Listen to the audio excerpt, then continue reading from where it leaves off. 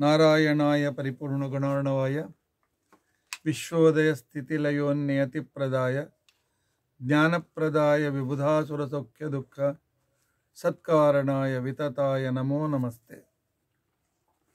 अभ्रमं भङ्गरहितम् अजडं विमलं सदा, आनन्दतीर्थमतुलं भजे तापत्रयापहम्। भवति यदनुभावादेडमूकोऽपि वाग्मी जडमतिरपि जंतुर्जाते प्राज्ञमौलिः। सकलवचनचेतो देवता भारती सा। मम वचसे निधत्ता सन्निधि मानते च। अस्मत्कुरुसमारम्भां टीकाकृत्पादमध्यगां श्रीमदाचार्यपर्यन्तां वंदे गुरुपरम्पराम्। विद्यायां विबुधाचार्यं वेदज्ञानाब्धिचन्दिरम् दुर्मतध्वान्तवार्ताण्डं सत्यध्यानमुनिं भज। पञ्चाशद्वर्षपर्यन्तं सततं रामपूजका। श्रीसत्य प्रमोदतीर्थार्यान् नौमिन्याय सुधारतान्। बन्धुस्त्वं गुरुरिष्टदैवतमिति। त्वत्पादपङ्केरुहं प्राप्तं माँ परिपालयेत् सतत याचे निबद्धाञ्जलिः चित्तं मत्कुणदोढचिन्तनविधौ नूनं मनं मा कृथाः श्रीसत्यात्मगुरो त्वदङ्घ्रियुगलं हित्वा न मे सद्गतिः। यैरहं शुकवत् सम्यक् शिक्षितोऽस्मि कृपालुभिः तान् वंदे धेनुपाचार्यान्। तत्व ज्ञानार्थ सिद्ध है। श्री गुरुभ्यो नम। हरि ओम। हरि ओम। हरि ओम। स्वस्थस्तु। अशेड स्वस्तस्तु असेड तन्मंगलानि सन्तु श्लोकैकश्रवणपठनमात्रेण वक्तुश्च श्रोतॄणां निखिलकलिकृतकल्मषापनोदनपटुतरे। धर्माद्यखिलपुरुषार्थसाधनीभूते अद्य। द्रौपदी रामायण कथा विवरण तथा द्रौपदी आत्मकथा विवरण आरंभे सति।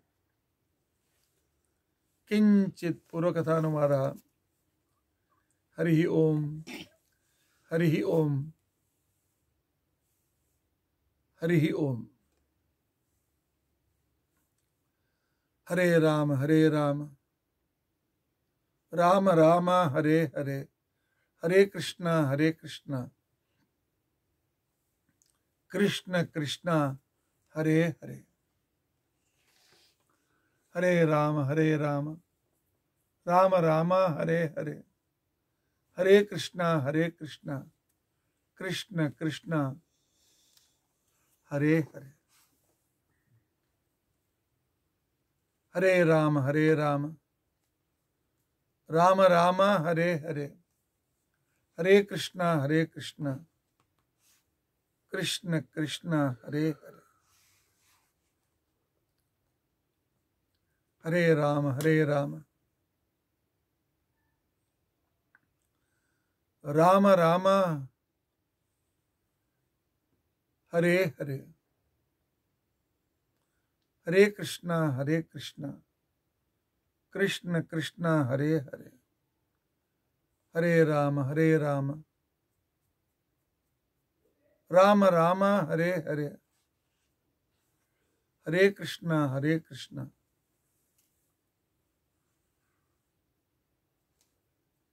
कृष्ण कृष्ण, हरे हरे। हरे राम हरे राम। राम राम, हरे हरे। हरे कृष्ण हरे कृष्ण। कृष्ण कृष्ण, हरे हरे। उग्रं, वीरं, महाविष्णुं, ज्वलन्तं, सर्वतोमुखं। नृसिंहं, भीषणं, भद्रं। मृत्यु मृत्युम नमामि। अच्युतानंत गोविंद हरे राम हरे राम श्री गुरुभ्यो नमः ಹರಿ ಓಂ ಹರಿ ಓಂ ಹರಿ ಓಂ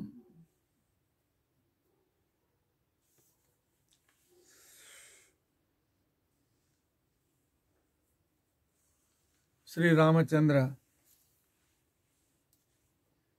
ವಾಲಿಯನ್ನು ಸಂಹರಿಸಿ ಚಾತುರ್ಮಾಸ್ಯಕ್ಕೋಸ್ಕರ ಸುಗ್ರೀವನಿಗೆ ಅವಕಾಶ ಕೊಟ್ಟಿದ್ದಾನೆ. ಚಾತುರ್ಮಾಸ ಮುಗಿಯಿತು. ಉತ್ಥಾನ ದ್ವಾದಶಿ ಆಯಿತು. ವೈಕುಂಠ ಚತುರ್ದಶಿ ಬಂದರೂ ಕೂಡ ಯಾವುದೇ ರೀತಿಯಾಗಿರ್ತಕ್ಕಂಥ ಸುಗ್ರೀವ ಬಂದು ಭೇಟಿ ಆಗಲಿಲ್ಲ. ನಿಮ್ಮ ಕೆಲಸ ಮಾಡ್ತೇನೆ ಅಂತ ಹೇಳಲಿಲ್ಲ. ಆಗ ರಾಮ ಲಕ್ಷ್ಮಣನಿಗೆ ಹೇಳ್ತಾನೆ, ಹೋಗು ಲಕ್ಷ್ಮಣ, ಅವನಿಗೆ ಹೇಳು. ಮಾತು ಕೊಟ್ಟ ಪ್ರಕಾರ ನಿನಗೆ ರಾಜ್ಯವನ್ನು ಕೊಡಿಸಿ ಆಗಿದೆ ಈಗ ಸೀತಾನ್ವೇಷಣೆಗೋಸ್ಕರ ನೀನು ತಯಾರಾಗಲೇಬೇಕು. ಇಲ್ಲದೇ ಇದ್ದರೆ ಅವನಿಗೆ ವಾಲಿಯನ್ನು ಕಳಿಸಿದಲ್ಲೇ ನಾನು ಕಳಿಸ್ತೇನೆ ಅಂತ ಹೇಳಿ ಅಂತ ಹೇಳಿದ್ದಾನೆ. ಶ್ರೀರಾಮಚಂದ್ರ ನ್ಯಾಯಪ್ರಿಯ, ಮಾತು ಕೊಟ್ಟಂತೆ ತಾನೂ ನಡೀತಾನೆ ಉಳಿದವರು ನಡೆಯಲೇಬೇಕು. ನಡೆಯದೇ ಇದ್ದವರಿಗೆ ಅವನು ಶಿಕ್ಷೆ ಕೊಡ್ತಾನೆ. ಈ ಕಡೆಗೆ ಲಕ್ಷ್ಮಣ ಬರುವಕ್ಕಿಂತ ಮೊದಲೇ ಹನುಮಂತ ಭೇಟಿಯಾಗಿದ್ದ ಸುಗ್ರೀವನಿಗೆ. ಸುಗ್ರೀವನ್ ನಾಲ್ಕು ತಿಂಗಳು ಬರೇ ಕುಡಿಯೋದು, ಮಜಾ ಮಾಡೋದು, ಅಂತಃಪುರದಲ್ಲಿ ಸ್ತ್ರೀಯರ ಜೊತೆಗಿರೋದು ಇಷ್ಟೇ ಕೆಲಸ ಮಾಡ್ತಿದ್ದ. ಅವನನ್ನು ಹನುಮಂತ ಎಚ್ಚರಿಸಿದ್ದಾನೆ. ನನ್ನ ಸ್ವಾಮಿಯ ಕಾರ್ಯ ನೀನು ಮಾಡಲೇಬೇಕು ಅಂತ ತಿಳ್ಕೊಂಡಂತೇಳಿ. ಅಷ್ಟರಲ್ಲಿ ಲಕ್ಷ್ಮಣ ಬರ್ತಾನೆ. ಸುಗ್ರೀವ ಗಾಬರಿಯಾಗಿ ರಾಮಚಂದ್ರನ ಹತ್ರ ಬರ್ತಾನೆ. ತಪ್ಪಾಯಿತು, ನಾನು ಕೆಲಸ ಮಾಡ್ತೇನೆ ಅಂತ ತಿಳ್ಕೊಂಡು ಅಂಥೇಳಿ ಎಲ್ಲ ದಿಕ್ಕಿನಲ್ಲಿದ್ದ ವಾನರನ್ನು ಕರೆಸಿದ್ದಾನೆ. ಕೋಟಿ ಕೋಟಿ ಸಂಖ್ಯೆಯಲ್ಲಿ ವಾನರರು ಬಂದಿದ್ದಾರೆ. ಆಗ ಕೆಲವರನ್ನ ಪೂರ್ವ ದಿಕ್ಕಿಗೆ, ಕೆಲವರನ್ನ ದಕ್ಷಿಣ ದಿಕ್ಕಿಗೆ, ಕೆಲವರಿಗೆ ಉತ್ತರ ದಿಕ್ಕಿಗೆ ಕಳುಹಿಸಿದರೆ ಹನುಮಂತ ಅಂಗದ ತಾರ, ಜಾಂಬುವಂತ ಇತ್ಯಾದಿ ಪ್ರಮುಖರನ್ನ ದಕ್ಷಿಣ ಭಾಗಕ್ಕೆ ಕಳಿಸುವಾಗ ಶ್ರೀ ರಾಮಚಂದ್ರ ಹೇಳ್ತಾನೆ, ಹನುಮಂತ, ನೀನೇ ಸೀತೆಯನ್ನು ಹುಡುಕಿ ತೆಗೆತಕ್ಕಂಥ ವ್ಯಕ್ತಿ. ಈ ಉಂಗುರವನ್ನು ತೆಗೆದುಕೋ. ನಾಳೆ ಸೀತೆಗೆ ನಿನ್ನ ಪರಿಚಯವನ್ನು ಕೊಡು. ಅಲ್ಲಿದ್ದವಳು ಸೀತೆಯಾಗಿದ್ದರೆ ಇದು ಬೇಕಾಗಿರಲಿಲ್ಲ. ಅಶೋಕವನದಲ್ಲಿರ್ತಕ್ಕಂಥವಳು ವೀರವತಿ. ಅವಳಿಗೆ ಪರಿಚಯ ಹತ್ತಿದೆ ಹೋಗ್ಬೋದು. ರಾಮನ ಉಂಗರವನ್ನು ನೋಡಿದರೆ ಅವಳು ವಿಶ್ವಾಸ ಮಾಡ್ತಾಳೆ ಅಂತ ತಿಳ್ಕೊಂಡು ಅಂತೇಳಿ ರಾಮ ತನ್ನ ಉಂಗರವನ್ನು ಕಳಿಸಿಕೊಟ್ಟಿದ್ದಾನೆ. ಹಾಗಾದರೆ ಲಂಕೆಯಲ್ಲೇ ಸೀತೆ ಇದ್ದಾಳೆ ಅಂತ ಗೊತ್ತಿದ್ರೆ ಉಳಿದಕ್ಕೆ ಕಳಿಸುವ ಅವಶ್ಯಕತೆ ಏನು? ಇದೇ ಶ್ರೀ ರಾಮಚಂದ್ರನ ರಾಜನೀತಿ. ರಾಮಚಂದ್ರ ರಾಮಚಂದ್ರ ಉತ್ತಮ ರಾಜನೀತಿಜ್ಞ. ರಾವಣ ಸಾಮಾನ್ಯ ವ್ಯಕ್ತಿಯಲ್ಲ ಅನೇಕ ಕೋಟಿ ರಾಕ್ಷಸರು. ಅವರೆಲ್ಲರನ್ನು ಒಂದೇ ಕಡೆ ಕೂಡಿಸ್ಲಿ ಅವನು. ಏಕಕಾಲ ಕಟ್ಟರನ್ನು ಕೊಂದ್ಬಿಟ್ಟ ಭೂಭಾರ ಹರಣವಾಗ್ತದೆ ಅಂತ ತಿಳ್ಕೊಂಡು ಅಂತೇಳಿ ಪರಮಾತ್ಮನ ಚಿಂತನೆ. ವ್ಯಾವಹಾರಿಕವಾಗಿ ಕಳ್ಳ, ಕಳ್ಳತನ ಮಾಡಿದ ಸಮ ವಸ್ತುವನ್ನು ತನ್ನ ಮನೇಲಿ ಇಟ್ಟುಕೊಳ್ಳೋದಿಲ್ಲ. ಬೇರೆ ಎಲ್ಲಾದರೂ ಮುಚ್ಚಿಡಬಹುದು ಅಂತಹ ಸಂದರ್ಭದಲ್ಲಿ ಎಲ್ಲ ಕಡೆಯಲ್ಲಿಯೂ ಕೂಡ ಪರಿವೇಕ್ಷಣೆ ಮಾಡಬೇಕು ಗುಪ್ತಚಾರರು ಅಂತನ್ನುವ ಒಂದು ನೀತಿಯನ್ನು ಜಗತ್ತಿಗೆ ಕಲಿಸಿಕೊಡೋದಕ್ಕೋಸ್ಕರ ಶ್ರೀ ರಾಮಚಂದ್ರ ಎಲ್ಲ ದಿಕ್ಕಿಗೂ ಕಪಿಗಳನ್ನು ಕಳಿಸಿದ್ದಾನೆ.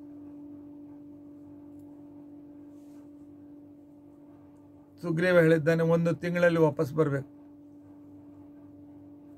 ಉಳಿದ ದಿಕ್ಕಿಗೆ ಹೋದವರೆಲ್ಲರೂ ಒಂದು ತಿಂಗಳಲ್ಲಿ ವಾಪಸ್ ಬಂದಿದ್ದಾರೆ.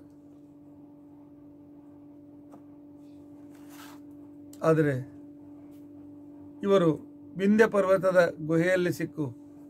ಆ ಗುಹೆಯಿಂದ ಹೊರಗೆ ಬರಬೇಕಾದ್ರೆ ಒಂದು ತಿಂಗಳಾಗಿ ಹೋಗಿತ್ತು.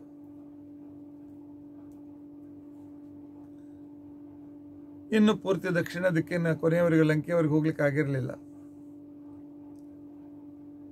ಅಷ್ಟಲ್ಲಿ ಒಂದು ತಿಂಗಳಾಯಿತು. ಆವಾಗ ಅಂಗದನ ಸೋದರ ಮಾವ ಅಂಗದನಿಗೆ ಹೇಳ್ತಾನೆ, ಇನ್ನು ಸೀತೆ ಸಿಕ್ಕರೇನು ಸಿಗದೇ ಇದ್ದೇನೆ ಒಂದು ತಿಂಗಳು ಮೀರಿದೆ. ನಾವು ಹೋದಾಕ್ಷಣಕ್ಕೇನೆ ಸುಗ್ರೀವ ನಮಗೆ ಮರಣದಂಡನೆ ಕೊಡ್ತಾನೆ. ಯಾಕೆಂದ್ರೆ ಸುಗ್ರೀವನ ಆಜ್ಞೆ ಸುಗ್ರೀವಾಜ್ಞೆ ಪ್ರೆಸೆಂಟ್ ರೂಲ್ ಅದಕ್ಕೋಸ್ಕರ ಸುಗ್ರೀವಾಜ್ಞೆ ಅಂತ ತಿಳ್ಕೊಂಡು ಅಂತೇಳಿ. ಅವನು ಆ ವಿಷಯದಲ್ಲಿ ಬಹಳ ಕಠೋರ ಇದ್ದ. ಅವನ ಕೈಯಲ್ಲಿ ಸಾಯುವ ಬದಲಾಗಿ ನಾವು ಇದೇ ಇಲ್ಲಿ ಹೊಸ ರಾಜ್ಯ ಕಟ್ಕೊಂಡು ಹಾಕಿರಬಾರ್ದು ಈ ಕಾಡಿನಲ್ಲಿ ಬೇಕಾದಷ್ಟು ಹಣ್ಣು, ಹಂಪಲ, ನೀರು ಎಲ್ಲ ಇದೆ.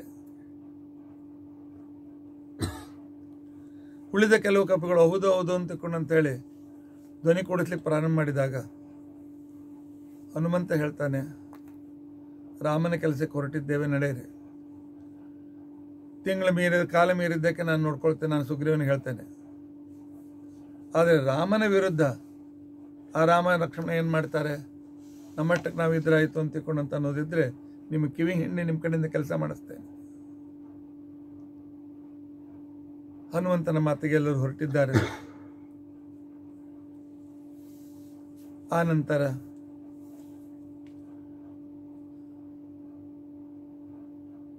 ತಾವು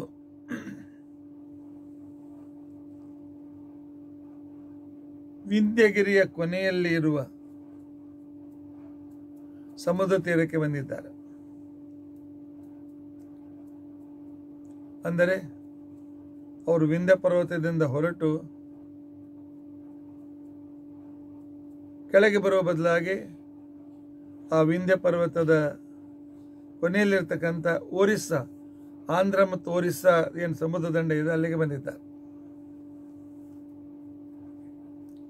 ಯಾಕಂದರೆ ಅಲ್ಲಿಂದ ಲಂಕಾ ನೂರು ಯೋಜನವಾಗ್ತದೆ. ಇಲ್ಲಿ ಅದನ್ನ ಮದ್ರಾಸ್ ಸಮುದ್ರದಿಂದ ಲಂಕಾ ನೂರು ಯೋಜನೆ ಇಲ್ಲ. ನೂರು ಯೋಜನೆ ಅಂತ ತಿಳ್ಕೊಂಡಂತಂದ್ರೆ ಆಗಿನ ಕಾಲ ಪ್ರಕಾರ ಸಿಕ್ಸ್ ಹಂಡ್ರೆಡ್ ಮೈಲ್ಸ್ ಇಲ್ಲಿರೋದು ಕೆಲವೇ ನೂರೊಳಗಾಗೆ ಕಿಲೋಮೀಟರ್ ಇದೆ ಲಂಕೆ ಭಾಳ ದೂರ ಇಲ್ಲ.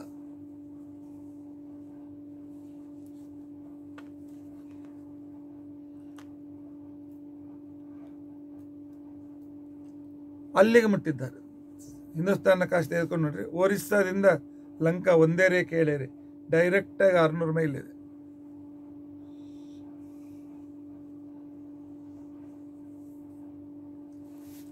ಇಷ್ಟು ಹಾರೋರು ಯಾರು? ಕೆಲವರು ಹೇಳ್ತಾರೆ ನಾವು ನಲ್ವತ್ತು ಯೋಜನೆ ಹಾರ್ಬೋದು, ಕೆಲವರು ಐವತ್ತು ಯೋಜನ, ಕೆಲವರು ಅರವತ್ತು ಯೋಜನ. ಜಾಂಬು ಅಂತ ಹೇಳ್ದ ಮೊದಲು ನಾನು ನೂರು ಯೋಜನೆ ಹಾರಿ ವಾಪಸ್ ಬರೋದಾಗಿತ್ತು ಆದರೆ ನಾನು ಬಹಳ ಮೊದಲಿನಿಂದಲೂ ಬ್ರಹ್ಮದೇವರ ಮಾನಸ ಪುತ್ರ ಯಾವಾಗ? ಕೃತಯುಗದಲ್ಲಿ ವಾಮನ ಬಲಿಚಕ್ರವರ್ತಿಯನ್ನು ಪಾತಾಳಕ್ಕೆ ಕರೆಸಿ ಅವರ ರಾಜ್ಯವನ್ನು ಪುನಃ ದೇವತೆಗಳು ಕೊಟ್ಟ ಸುದ್ದಿಯನ್ನು ಕೇಳಿ ನಾನು ಸಂತೋಷದಿಂದ ಕುಣಿದಾಡುವಾಗ ನನ್ನ ಮೊಳಕಾಲಿಗೆ ಮೇರು ಪರ್ವತ ಬರೆಯಿತು. ಆಗಿನಿಂದ ನಾನು ತೊಂಬತ್ತು ಯೋಜನೆ ಮಾತ್ರ ಹಾರಬಹುದು ಅಂತ ತಿಳ್ಕೊಂಡಂತೆ ಹಂಗಾದ್ರೆ ಹೇಳ್ತಾನೆ, ಅಲ್ಲಿಗೆ ನಾನು ಮುಟ್ಟಬಹುದು, ಬರುವಷ್ಟರಲ್ಲಿ ಸ್ಟೆಮಿನಾ ಉಳಿತದಿಲ್ಲ ಗೊತ್ತಿಲ್ಲ. ಅಷ್ಟು ಶಕ್ತಿ ಉಳಿತದೋ ಇಲ್ಲೋ ಗೊತ್ತಿಲ್ಲ ಅಂತ ತಿಳ್ಕೊಂಡಂತ ಹೇಳಿದೆ. ಕೊನೆಗೆ ಜಾಂಬು ಅಂತ ಹೇಳ್ತಾನೆ ನಾವೆಲ್ಲರೂ ಹೋಗಿ ವಾಯುದೇವರನ್ನು ಪ್ರಾರ್ಥನೆ ಮಾಡೋಣ ಅಂತ ತಿಳ್ಕೊಂಡು ಹನುಮಂತ ದೇವರ ಹತ್ರ ಬರ್ತಾರೆ. ಹನುಮಂತ ದೇವರಿಗೆ ಪ್ರಾರ್ಥನೆ ಮಾಡಿಕೊಂಡಾಗ ಹನುಮಂತ ದೇವರು ಆಗಲಿ ಅಂತ ತಿಳ್ಕೊಂಡು ಅಂತ ಹೇಳಿ, ಆ ಪರ್ವತವನ್ನು ಕಾಲಿನಿಂದ ಒತ್ತಿ ದೊಡ್ಡ ರೂಪ ತೆಗೆದುಕೊಂಡು ಆಕಾಶಕ್ಕೆ ಹಾರಿದ್ದಾರೆ. ಅವರ ಹಾರುವ ರಭಸಕ್ಕೆ ಆ ಗಾಳಿಯಿಂದ ಸಮುದ್ರದ ನೀರು ಮೇಲೆ ಬಂದು ತಳದಲ್ಲಿರ್ತಕ್ಕಂಥ ಪ್ರಾಣಿಗಳು ಎಲ್ಲ ಕೂಡ ಮೇಲೆ ಬಂದು ಸಮುದ್ರ ಕೆಳಮೇಲಾಯಿತು. ಪರ್ವತ ದಂಡೆಯಲ್ಲಿರ್ತಕ್ಕಂಥ ಅನೇಕ ಮರಗಳೆಲ್ಲ ಕಿತ್ತಿ ನೀರಿನಲ್ಲಿ ಬಿದ್ದುಬಿಟ್ಟು ಅಷ್ಟು ವೇಗದಿಂದ ಸ್ಟಾರ್ಟ್ ಮಾಡಿದ್ದಾರೆ ವಾಯುದೇವರು. ಸ್ವಲ್ಪ ಮುಂದೆ ಹೋಗಿರತಕ್ಕಂಥ ಸಂದರ್ಭದಲ್ಲಿ ನೀರಿನಿಂದ ಒಂದು ಪರ್ವತ ಮೇಲೆ ಎದ್ದು ಬಂದಿದೆ. ಯಾಕಂದ್ರೆ ಕೆಲವು ಸಲ ಆಳ ನೀರಿನಲ್ಲಿ ಗ್ರಾವಿಟೇಷನ್ ಫೋರ್ಸ್ ಇರೋದಿಲ್ಲ. ಪರ್ವತ ಕೆಳಗೆ ಮೇಲೆ ಆಗ್ತಾ ಇರ್ತದೆ. ಆ ಪರ್ವತ ಯಾರು ಅಂತ ತಿಳ್ಕೊಂಡು ಅಂತಂದರೆ ಮೈನಾಕ ಪರ್ವತ, ಪಾರ್ವತಿಯ ತಮ್ಮ, ಹಿಮಾಲಯನ ಮಗ ಹಿಂದಕ್ಕೆ ಪರ್ವತಗಳಿಗೆ ರೆಕ್ಕೆ ಇದ್ದು ಅಂದ್ರರ್ಥ ಪೃಥ್ವಿಯಲ್ಲಿ ಗ್ರಾವಿಟೇಷನ್ ಫೋರ್ಸ್ ಇದ್ದಿದ್ದಿಲ್ಲ. ಪರ್ವತಕ್ಕೆ ಪರ್ವತಕ್ಕೆ ಗಾಳಿಯಲ್ಲಿ ಹಾರ್ತಾ ಇದ್ದು. ಆನಂತರ ಸ್ವಲ್ಪ ಗ್ರಾವಿಟೇಷನ್ ಫೋರ್ಸ್ ಬೇಗ ಕಡಿಮೆ ಆದ ತಕ್ಷಣ ನೆಲ ಮೇಲೆ ಕೊಡುತ್ತೆ ಅನೇಕ ನಗರಗಳು ಹೋಗ್ತಾ ಇದ್ದು. ಆಗ ಋಷಿಗಳ ಪ್ರಾರ್ಥನೆ ಪ್ರಕಾರ ಇಂದ್ರ ಬಂದು ಅವುಗಳ ರೆಕ್ಕೆಗಳನ್ನು ಕತ್ತರಿಸಿ ಪರ್ವತಗಳನ್ನು ಸ್ಥಿರ ಮಾಡಿದ್ದಾನೆ. ಇದರರ್ಥ, ಸೂರ್ಯನಿಂದ ಹೊರಟು ಬಂದ ಪೃಥ್ವಿ ಲಾವಾರಸಂತೆ ಕದಿತಾ ಕುದಿತಾ ಇರುವಾಗ ಭೂಮಿಯಲ್ಲಿ ಗ್ರಾವಿಟೇಷನ್ ಫೋರ್ಸ್ ಇರಲಿಲ್ಲ. ಇಂದ್ರ ಸತತವಾಗಿ ಮಳೆಯನ್ನು ಗರೆದಿದ್ದರಿಂದಾಗಿ ಭೂಮಿ ಆ ಕಾಲದಲ್ಲಿ ಅದು ಒಣಗಿದ ಕ್ಷಣಕ್ಕೇನೆ ಆಗ ಅದಕ್ಕೆ ಒಂದು ಗುರುತ್ವಾಕರ್ಷಣ ಶಕ್ತಿ ಬಂತು. ಇಂತಹ ಸಂದರ್ಭದಲ್ಲಿ ಕೆಲವು ಪರ್ವತಗಳು ಸಮುದ್ರದಲ್ಲಿ ಗಾಳಿಯಿಂದ ಎಸೆಯಲ್ಪಟ್ಟು ವಾಯುದೇವರಿಂದ ಈ ಮೈನಾಕ ಪರ್ವತ ಸಮುದ್ರದಲ್ಲಿ ಎಸೆಯಲ್ಪಟ್ಟಿತ್ತು. ಹೀಗಾಗಿ ಅದು ಮೇಲೆ ಬರಲಿಕ್ಕೆ ಸಾಧ್ಯವಾಯಿತು. ಬಂದು ಹನುಮಂತನಿಗೆ ಹೇಳ್ತದೆ, ಹನುಮಂತ, ನನ್ನಲ್ಲಿ ಕೂತ್ಕೊಂಡು ಸ್ವಲ್ಪ ವಿಶ್ರಾಂತಿ ತೆಗೆದುಕೊಂಡು ಇಲ್ಲಿಂದ ಲಂಕೆಗೆ ನಮ್ಮಂಥವ್ರಿದ್ರೆ ಅಷ್ಟೇ ಸಾಕು ಅಂತ ತಿಳ್ಕೊಂಡು ಅಂತ ಹೇಳಿ. ಹನುಮಂತ ಹೇಳ್ದ, ನನ್ನ ಸ್ವಾಮಿಯ ಕೆಲಸಕ್ಕೆ ಹೊರಟಾಗ ಮಧ್ಯದಲ್ಲಿ ಬೇರೆ ಯಾವ ಕೆಲಸ ಮಾಡೋದಿಲ್ಲ. ನಾವು ಹೇಗಿದ್ದೇವೆ? ಪೂಜೆಗೆ ಕುಳಿತುಕೊಂಡಿರ್ತೇವೆ. ಹೆಂಡತಿಗೆ ಅದು ಮಾಡು, ಇದು ಮಾಡು ಅಂತ ಹೇಳ್ತಿರ್ತೇವೆ. ಯಾವುದು ಹರಟೆ ಹೊಡಿತಾ ಇರ್ತೇವೆ. ಆ ನಂತರ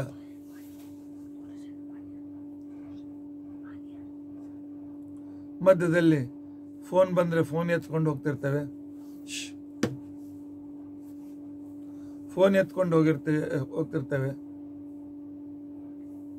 ಆನಂತರ ನಂತರ ಮತ್ತೇನೇನು? ದೇವರ ಪೂಜೆ ಬಿಟ್ಟು ಇಪ್ಪತ್ತು ಕೆಲಸ ಬೇರೆ ಮಾಡ್ತೇವೆ. ಮನಸ್ಸು ಎಲ್ಲೆಲ್ಲೂ ಹೋಗಿರ್ತದೆ. ಇಂಥ ಸಂದರ್ಭದಲ್ಲಿ ಆಗ ನಮ್ಮ ಪೂಜೆ ಸರಿಯಾಗೋದಿಲ್ಲ ಹನುಮಂತ ಹಾಗಲ್ಲ. ರಾಮನ ಕಾರ್ಯಕ್ಕೆ ಹೊರಟಿದ್ದೇನೆ, ಅದು ಪೂರ್ತಿ ಆಗೋವರೆಗೂ ಬೇರೆ ಕೆಲಸ ಇಲ್ಲ, ವಿಶ್ರಾಂತಿ ಇಲ್ಲ. ಹೀಗಾಗಿ ನೈವಾತ್ರ ವಿಶ್ರಮಣ ಮಣಮೈಚ್ಛದ ವಿಶ್ರಮಸು. ಅವನಿಗೆ ವಿಶ್ರಾಂತಿ ಬೇಕಾಗಿರಲಿಲ್ಲ. ಅವನಿಗೆ, ಆಯ್ತಪ್ಪ ಅಂತೇಳಿ ಕೈ ಮುಟ್ಟಿ ಸಮಾಧಾನ ಮಾಡಿ ಮುಂದೆ ಹೊರಟಿದ್ದಾರೆ. ವಾಯುದೇವರ ಸಾಮರ್ಥ್ಯ ನೋಡಬೇಕು ಅಂತ ತಿಳ್ಕೊಂಡು ಅಂತೇಳಿ ದೇವತೆಗಳು ಒಂದು ನಾಗಕನ್ನಿಕೆಗೆ ಬರವನ್ನು ಕೊಟ್ಟು ಬೇಕಾದಷ್ಟು ದೊಡ್ಡ ರೂಪನೆಯನ್ನು ತೆಗೆದುಕೊಳ್ಬೋದು ಸಮುದ್ರದ ಮಧ್ಯದಲ್ಲಿ ನಿಂತ್ಕೊಂಡು ನಿನ್ನ ದಾರಿಯಲ್ಲಿ ಬರುವ ಪಕ್ಷಿಗಳು, ಅದು, ಇದು ಎಲ್ಲ ನಿನಗೆ ಆಹಾರವಾಗಲಿ ಅಂತ. ಅವಳು ಆ ಅಂತ ಬಾಯಿ ತೆಗೆದುಕೊಂಡು ನಿಂತ್ಕೊಂಡ್ರೆ ಹನುಮಂತ ಹೇಳ್ತಾನೆ, ನನ್ನ ದೇವ ಕಾರ್ಯಕ್ಕೆ ಹೊರಟಿದ್ದೇನೆ, ದಾರಿ ಬಿಡು ಅಂತ. ಅವಳು ಹೇಳ್ತಾಳೆ, ದೇವತೆಗಳು ನನಗೆ ಹೊರ ಕೊಟ್ಟಿದ್ದಾರೆ. ನೀನು ನನ್ನ ಹಾರಾಗಲೇಬೇಕು. ವಾಯುದೇವರು ಅವಳನ್ನು ಹೊಡೆದು ಮುಂದೆ ಹೋಗ್ಬೋದಾಗಿತ್ತು ಆದರೆ ಕಳಿಸಿದವರು ದೇವತೆಗಳು, ತಮ್ಮ ಮಕ್ಕಳು ಮೊಮ್ಮಕ್ಕಳಿದ್ದಂತೆ. ಅವಳ ಇಚ್ಛೆಯನ್ನು ಪೂರ್ತಿ ಮಾಡಬೇಕು ಅಂತ ತಿಳ್ಕೊಂಡು ಅಂತೇಳಿ ಹನುಮಂತ ದೇವರು ಅವಳ ಹತ್ರ ಬಂದು ತಮ್ಮ ಶರೀರ ದೊಡ್ಡದು ಮಾಡಿದ್ದಾರೆ. ಅವಳು ಕೂಡ ಅಷ್ಟೇ ದೊಡ್ಡ ಬಾಯಿ ತೆಗೆದಾಳೆ. ಇನ್ನೂ ದೊಡ್ಡ ಇನ್ನೂ ದೊಡ್ಡ ಎಷ್ಟು ದೊಡ್ಡ ಬಾಯಿ ಆಯಿತು.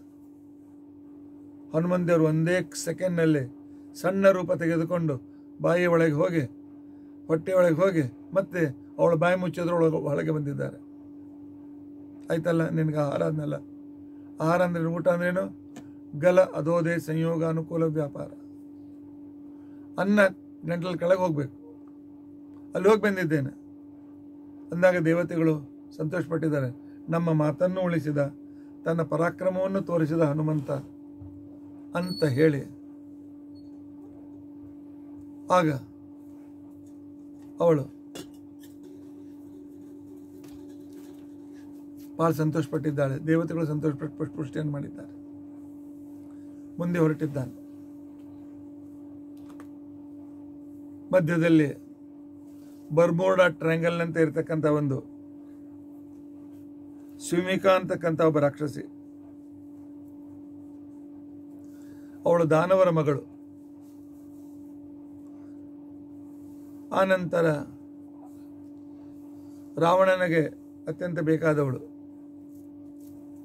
ರಾವಣ ಅವಳನ್ನು ರಾಡಾರ್ನಂತೆ ತನ್ನ ಸಮುದ್ರದ ಮಧ್ಯದಲ್ಲಿ ಇಟ್ಟಿದ್ದ.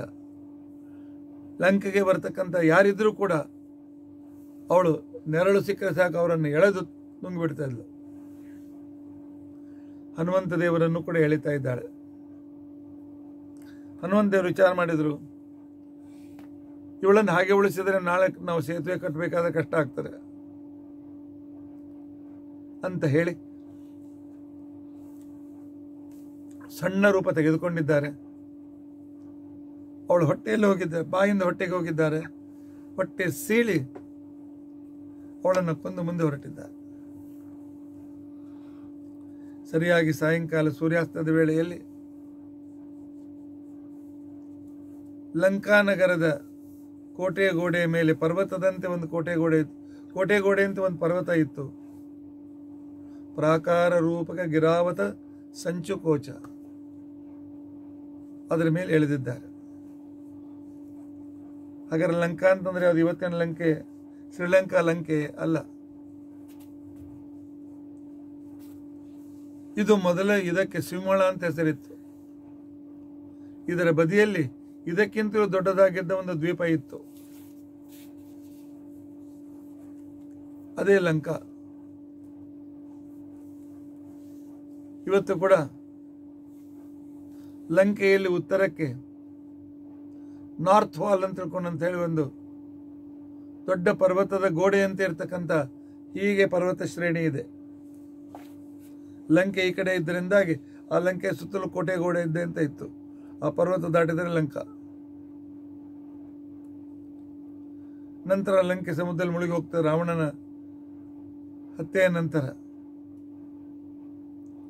ನಂತರ ಈ ಸಿಲೋನಕ್ಕೆ, ಸಿಂಹಳಕ್ಕೆ ಭಂಡಾರ ನಾಯಕ ಚೀಫ್ ಮಿನಿಸ್ಟರ್ ಇದ್ದಾಗ ಅದಕ್ಕೆ ಶ್ರೀಲಂಕಾ ಅಂತ ಹೆಸರಿಟ್ಟರು ಅಷ್ಟೇ.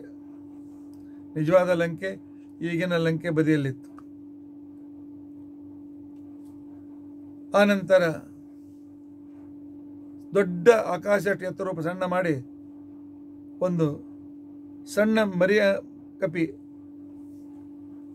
ಭೂತ್ವ ಬಿಡಾಲ ಸಮೇತ. ಸಣ್ಣ ಬೆಕ್ಕಿನಷ್ಟು ಸಣ್ಣ ರೂಪವನ್ನು ತೆಗೆದುಕೊಂಡಿದ್ದಾರೆ. ತೆಗೆ ತಮ್ಮ ಪರಿಚಯ ಯಾರಿಗೂ ಹೊತ್ತಬಾರದು ಅಂತ ತಿಳ್ಕೊಂಡು ಅಂತೇಳಿ ನಗರದಲ್ಲಿ ಪ್ರವೇಶ ಮಾಡಬೇಕು ಅಂತ ಹೊಡೆದಾಗ ಆ ಲಂಕಾ ಸಂರಕ್ಷಣೆ ಮಾಡತಕ್ಕಂಥ ಒಳಬಳು ಲಂಕಿನಿ ಅಂತ ತಿಳ್ಕೊಂಡ ದೇವತಾ. ಪ್ರತಿಯೊಂದು ಊರಿಗೊಬ್ಬ ಗ್ರಾಮ ದೇವತೆ ಇರ್ತಾಳೆ. ಅವಳು ನಮ್ಮನ್ನು ಸಂರಕ್ಷಣೆ ಮಾಡ್ತಾಳೆ. ಗ್ರಾಮ ದೇವತೆ ಇಲ್ಲದೆ ಇರತಕ್ಕಂಥ ನಗರ ಹಳ್ಳಿಗಳು ಇರೋದಿಲ್ಲ ಊರು ಇರೋದಿಲ್ಲ. ಆ ಊರಿಗೆ, ನಗರಕ್ಕೆ ಒಬ್ಬ ದೇವತೆ ಅಂತ ಇರ್ತಾರೆ ಅವಳೇ ದುರ್ಗಾದೇವಿ. ಇಲ್ಲಿ ಲಂಕಿನಿ ದ್ವಾರಪಾಲಕಿಯಾಗಿದ್ಲು. ಹನುಮಂತ ಹೊರಟ್ರೆ, ಇಲ್ಲ, ನಾನು ಒಳಗೆ ಬಿಡೋದಿಲ್ಲ ಅಂತ ಅಂದಿದ್ದಾಳೆ. ನೀನು ಒಳ್ಳೆ ಕೆಲಸಕ್ಕೆ ಹೊರಟಿದ್ದೆ ನನಗೆ ಗೊತ್ತಿದೆ. ನಾನು ದೇವತೆ, ನೀನು ದೇವತೆ. ಆದರೆ ನಾನು ಮಾತು ಕೊಟ್ಟಿದ್ದೇನೆ ಒಳಗೆ ಯಾರನ್ನು ಬಿಡೋದಿಲ್ಲ ಅಂತ ತಿಳ್ಕೊಂಡಂತೇಳಿ ಅದರಿಂದ ಹನುಮಂತ ಒಂದು ಕೆಲಸ ಮಾಡು. ನನ್ನನ್ನು ಸೋಲಿಸಿ ನೀನು ಒಳಗೆ ಹೋಗು. ನಾವು ನಾ ಏನು ಮಾಡ್ಲಿಕ್ಕೆ ಆಗೋದಿಲ್ಲ. ಹನುಮಂತ ಅವಳಿಗೆ ನಾಲ್ಕು ಗುದ್ದಿದ್ರೆ ಪಾಪ ನೆಲದ ಮೇಲೆ ಬಿದ್ದಿದ್ದಾಳೆ. ಹನುಮಂತ ಒಳಗೆ ಬಂದಿದ್ದಾನೆ. ಎಲ್ಲ ಕಡೆ ಹುಡುಕ್ತಾ ಇದ್ದಾನೆ. ರಾವಣನ ಅಂತಃಪುರ ಅನಮನೆ ಎಲ್ಲ ರೂಮ್ನಿಗೆ ಹೋಗಿದ್ದಾನೆ. ಅಲ್ಲ, ಸಂಪಾತ ಹೇಳಿದ್ನಲ್ಲ, ಅಶೋಕ ವೃಕ್ಷದ ಕೆಳಗೆ ಸೀತಾನೆ ಇಟ್ಟಿದ್ದಾನೆ ಅಂತ. ಅಲ್ಲಿಗೆ ಡೈರೆಕ್ಟ್ ಡೈರೆಕ್ಟ್ ಯಾಕೆ ಹೋಗಬಾರ್ದು. ಇಲ್ಲ ಹುಡುಕ್ತಾ ಕೂತ್ಕೊಂಡು ಟೈಮ್ ಪಾಸ್ ಮಾಡ್ತಾ ಇದ್ದಾನೆ. ಇಲ್ಲ. ಹನುಮಂತನೇ ಗೊತ್ತಿತ್ತು, ಈ ನಗರವನ್ನು ನಾನು ನಾಶ ಮಾಡಿ ಹೋಗಬೇಕು ಅಂತ. ಅದರಿಂದ ಎಲ್ಲೆಲ್ಲಿ, ಯಾವ, ಎಲ್ಲಿ ನಾವು ಬೆಂಕಿ ಹಚ್ಚಿದರೆ ಎಲ್ಲಿ ಮಾಡಿದರೆ ಈ ನಗರವನ್ನು ನಾಶ ಮಾಡುವುದು ಅಂತೆಲ್ಲ ನಗರದ ಪರಿಚಯ ಮಾಡ್ಕೊಳ್ಳಿಕ್ಕೆ ಊರಿನಲ್ಲಿ ತಿರುಗಾಡಿದ್ದಾನೆ. ಆ ನಂತರ ಅಶೋಕವನಕ್ಕೆ ಬರ್ತಾನೆ. ಅದಕ್ಕಿಂತ ಮೊದಲು ರಾ, ರಾವಣ ದಿನ ಒಂದೊಂದು ರೂಪ ತೆಗೆದುಕೊಂಡು ಬಂದು ಸೀತೆಗೆ ಯಾಚನೆ ಮಾಡಿ ಅವಳು ಬೈದು ಹೋಗ್ತಾ ಇದ್ದ. ಅದೇ ಹನುಮಂತ ಪ್ರವೇಶ ಮಾಡಿದಾಗ ರಾವಣ ಸೀತೆಗೆ ಬಂದಿದ್ದಾನೆ ಇನ್ನೂ ಮಾತಾಡಿದ್ದಾನೆ ಇನ್ನೇನು ರಾಮ ಬರ್ತಾನೆ ನನ್ನ ಮದುವೆ ಆಗು ಸುಖವಾಗಿರು ಅಂತ ತಿಳ್ಕೊಂಡು ಅಂತೇಳಿ. ಆಗ ಸೀತಾದೇವಿ ಒಂದು ಹುಲ್ಲಿನ ಕಡ್ಡಿ ಇಟ್ಕೊಂಡು ಮಾತನಾಡ್ತಾಳೆ. ಪರಪುರುಷರ ಜೊತೆಗೆ ಮಾತನಾಡುವಾಗ ಒಂದು ಪರದೆ ಇರಬೇಕು ಅಂತ ಒಂದು ನಿಯಮ. ಈಗ ಅದೆಲ್ಲ ಹೋಗಿದೆ ಮಾತು ಬೇರೆ. ಆದ್ದರಿಂದಾಗಿ ಅವಳು ಅವನ ಕಡೆಗೆ ನೋಡಿದ್ರೆ ಹೇಳ್ತಾಳೆ, ಮೂರ್ಖ, ಈ ಸೀತೆ ಎಂದೂ ಒಲಿಯೋದಿಲ್ಲ ನಿನ್ನ ಕಡೆ ಬರೋದಿಲ್ಲ. ನನಗೆ ನನ್ನ ಪತಿಯಾಗಿರ್ತಕ್ಕಂಥ ರಾಮನೇ ದೇವರು. ಬೇರೆ ಯಾರನ್ನು ನನ್ನ ಕಣ್ಣೆತ್ತಿ ನೋಡೋದಿಲ್ಲ. ಹೋಗು ಅಂತ ತಿಳ್ಕೊಂಡಂತಂದಾಗ ಅವನು ಹೇಳ್ತಾನೆ, ಒಂದೇ ತಿಂಗಳ ಸಮಯ. ಒಂದು ತಿಂಗಳ ನಂತರ ನೀನು ನನ್ನನ್ನು ಒಪ್ಪದೇ ಇದ್ದರೆ ನಿನ್ನನ್ನು ಕೊಂದು ಹಾಕ್ತೇನೆ ಅಂತ ಭೀಕರವಾಗಿ ಹೇಳಿ ರಾವಣ ಹೊರಟೋಗಿದ್ದಾನೆ. ಹನುಮಂತ ಮನಸ್ಸಿನಲ್ಲಿ ಹೇಳ್ದ, ಒಂದು ತಿಂಗಳೊಳಗೆ ಬರ್ತೀವಿ, ನಿನ್ನನ್ನೇ ಮುಗಿಸ್ತೇವೆ ಅಂತ ತಿಳ್ಕೊಂಡಂತೆ.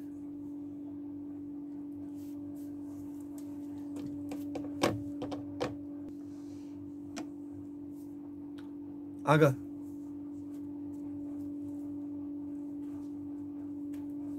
ಹನುಮಂತ ಆ ಅಶ್, ಅಶೋಕ ವೃಕ್ಷದ ಮೇಲೆ ಹೋಗಿ ಕೂತ್ಕೊಳ್ತಾನೆ. ಇಲ್ಲ ಶಿವಶುಪ ವೃಕ್ಷ, ಬೂರಲೆ ಮರದ ಕೆಳಗೆ ಸೀತೆ ಕುಳಿತುಕೊಂಡಿದ್ದು ಅಶೋಕವನದಲ್ಲಿ. ಮೇಲೆ ಕುಳಿತು ರಾಮನ ಗುಣಗಾನ ಮಾಡಲಿಕ್ಕೆ ಚಾಲು ಮಾಡ್ತಾರೆ ಹಾಗೆ ಇವಳು ಲಂಕೆಯಲ್ಲಿ ರಾಮನ ಬಗ್ಗೆ ವರ್ಣನೆ ಮಾಡೋರು ಯಾರು? ಏ ಯಾರಿದೆ ಕೆಳಗೆ ಬನ್ನಿ. ಆಗ ಹನುಮಂತಿಯವರು ಕೆಳಗೆ ಬಂದು, ಯಾರು ನೀನು? ನಾನು ರಾಮನ ದೂತ, ವಿಶ್ವಾಸ ಹೇಗಿಡಲಿ ಆಗ ರಾಮನ ಉಂಗುರವನ್ನು ತೋರಿದ ಮೇಲೆ ಒಪ್ತಾಳೆ, ಸೀತಾದೇವಿಗೆ ರಾಮ ಹೇಳ್ತಾನೆ, ತಡೆ ಸೀತಾದೇವಿ, ನನ್ನ ಹೆಗಲ ಮೇಲೆ ಕೂತ್ಕೋ, ರಾಮನ ಮುಟ್ಟಿಸ್ತೇನೆ, ಯಾವ ತಡಿತಾನೆ ನೋಡೋಣ ಅಂತ. ಸೀತಾದೇವಿ ಹೇಳ್ತಾಳೆ, ಇಲ್ಲ. ರಾಮ ರಾವಣನನ್ನು ಗೆದ್ದು ನನ್ನನ್ನು ಬಿಡಿಸ್ಕೊಳ್ಳಿ. ನಾನು ಹೀಗೆ ಪರರ ಉಪಕಾರ, ಪರರ ಉಪಕಾರವನ್ನು ನಾನು ಸ್ವೀಕರಿಸುವುದಲ್ಲ. ನನ್ನ ಪತಿಯ ಪತಿಯಿಂದಲೇ ನಾನು ಉಪಕಾರ ಪಡೆಯತಕ್ಕಂಥವಳು. ಪರರ ಉಪಕಾರ ಬೇಕಾಗಿಲ್ಲ.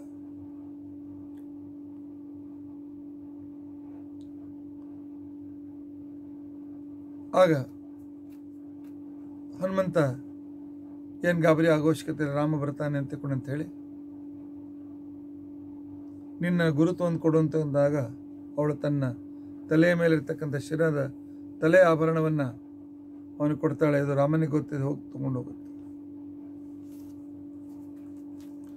ಹನುಮಂತ ಹೇಳ್ತಾನೆ, ನಾನು ಹಾಗೆ ಹೋದರೆ ರಾಮನ ದೂತ ಒಬ್ಬ ಹೇಳಿ ಕಳತನದಿಂದ ಬಂದ ಅಂತ ಅನಿಸ್ತದೆ. ನನಗೆ ಹಸಿವೆ ಆಗಿದೆ, ಅಶೋಕವನ್ನು ಹಣ್ಣು ತಿಂತೇನೆ. ಏನು ಮಾಡ್ತಿ ಮಾಡ್ಕೊಂಡು ಸೀತಾದೇವಿ ಹೇಳ್ತಾಳೆ. ಹೊಟ್ಟೆ ತುಂಬ ಹಣ್ಣು ತಿಂದು ಆ ಅಶೋಕನ ಮರಗಳನ್ನು ಬೀಳಿಸ್ಲಿಕ್ಕೆ ಚಾಲು ಮಾಡಿದ್ದಾನೆ. ಮರಗಳನ್ನು ಆ ಅಶೋಕನನ್ನು ಕಾಯ್ತಕ್ಕಂಥ ಅಸುರರಿದ್ದರು, ದ್ವಾರಪಾಲಕರು. ಅವ್ರು ಬಂದು, ಏಯ್, ಯಾರು ನೀನು? ಯಾಕೆ ಹಾಳು ಮಾಡ್ತಾ ಇದ್ದೆ? ಯಾಕೆ ಗಿಡ ಬೆಳಗ್ತಾ ಇದ್ದೆ? ಹೊಡಿತೇವೆ ನೋಡು ಅಂತ ತಿಳ್ಕೊಂಡಂತಾರೆ ಹನುಮಂತ ಒಂದು ಗಿಡ ಕಿತ್ತಿ ಅವ್ರ ತಲೆ ಮೇಲೆ ಹಾಕಿದ. ಅವ್ರು ಗಾಬರಿಯಾಗಿ ಓಡಿ ಹೋಗಿ ರಾಮ, ರಾವಣನಿಗೆ ಹೇಳಿದರು. ಯಾವುದೋ ಒಂದು ಕಪಿ ಬಂದಿದೆ, ಸಂಪೂರ್ಣ ಅಶೋಕವನ್ನು ನಾಶಪಡಿಸ್ತಾ ಇದೆ. ನೀವೇನು ಮಾಡ್ತಾ ಇದ್ದೀರಿ? ನಾವು ಹಿಡಲಿಕ್ಕಾಗಲಿಲ್ಲ. ನಮ್ಮ ಮೇಲೆ ಒಂದು ಗಿಡ ಎಸೆದವನು. ಆಗ ರಾವಣ ಅಂದ, ನಮ್ಮ ಊರಿಗೆ ಬಂದು ಈ ಅಶೋಕವನ್ನು ನಾಶಪಡಿಸಬೇಕಾದ್ರೆ ಒಂದು ಸಾಮಾನ್ಯ ವ್ಯಕ್ತಿ ಅಲ್ಲ. ಆಗ ಅವನು ಏಳು ಜನ ಮಂತ್ರಿಗಳನ್ನು ಮನ್, ತಮ್ಮ ಪುತ್ರ ಸಹಿತ ಕಳಿಸಿಕೊಡ್ತಾನೆ. ಒಬ್ಬರೊಬ್ಬರು ಪರ್ವತದಷ್ಟೇ ಎತ್ತರು. ಆಗ ಬಂದಿರತಕ್ಕಂಥ ಅವರನ್ನು ತನ್ನ ಕೈ ಹೊಡೆತದಿಂದಲೇ ಏಳು ಜನರನ್ನು ಕೊಂದು ಬಿಡ್ತಾನೆ. ಸುದ್ದಿ ತಿಳಿದ ರಾವಣ ಅಂತ ಇವನು ಸಾಮಾನ್ಯ ವ್ಯಕ್ತಿ ಅಲ್ಲ. ಅಂತ ಹೇಳಿ ತನ್ನ ಸೈನ್ಯದ ಒನ್ ಥರ್ಡ್ ಭಾಗವನ್ನು ಕೊಟ್ಟು ತನ್ನ ಮಗನಾಗಿರ್ತಕ್ಕಂಥ ಅಕ್ಷಯ್ ಕುಮಾರನನ್ನೇ ಕಳಿಸಿಕೊಡ್ತಾನೆ. ಸ್ವಲ್ಪ ಹೊತ್ತು ಹನುಮಂತ ಯುದ್ಧ ಮಾಡಿದಂತೆ ಮಾಡಿ ಕೊನೆಗೆ ಅಕ್ಷಯ್ ಕುಮಾರನನ್ನು ಹಿಡಿದು ಅವನ ಕಾಲುಗಳನ್ನು ಹಿಡಿದು ಎರಡೂ ಕಾಲುಗಳನ್ನು ಗರ ಗರ ಗರ ತಿರುಗಿಸಿ ಆಕಾಶಕ್ಕೆ ಎಸೆದಿದ್ದಾನೆ. ಎತ್ತರಕ್ಕೆ ಹೋಗಿ ಕೆಳಗೆ ಬಿದ್ದ ಅಕ್ಷಯ ಕುಮಾರ್ ಅಲ್ಲೇ ಸತ್ತೋಗ್ತಾನೆ.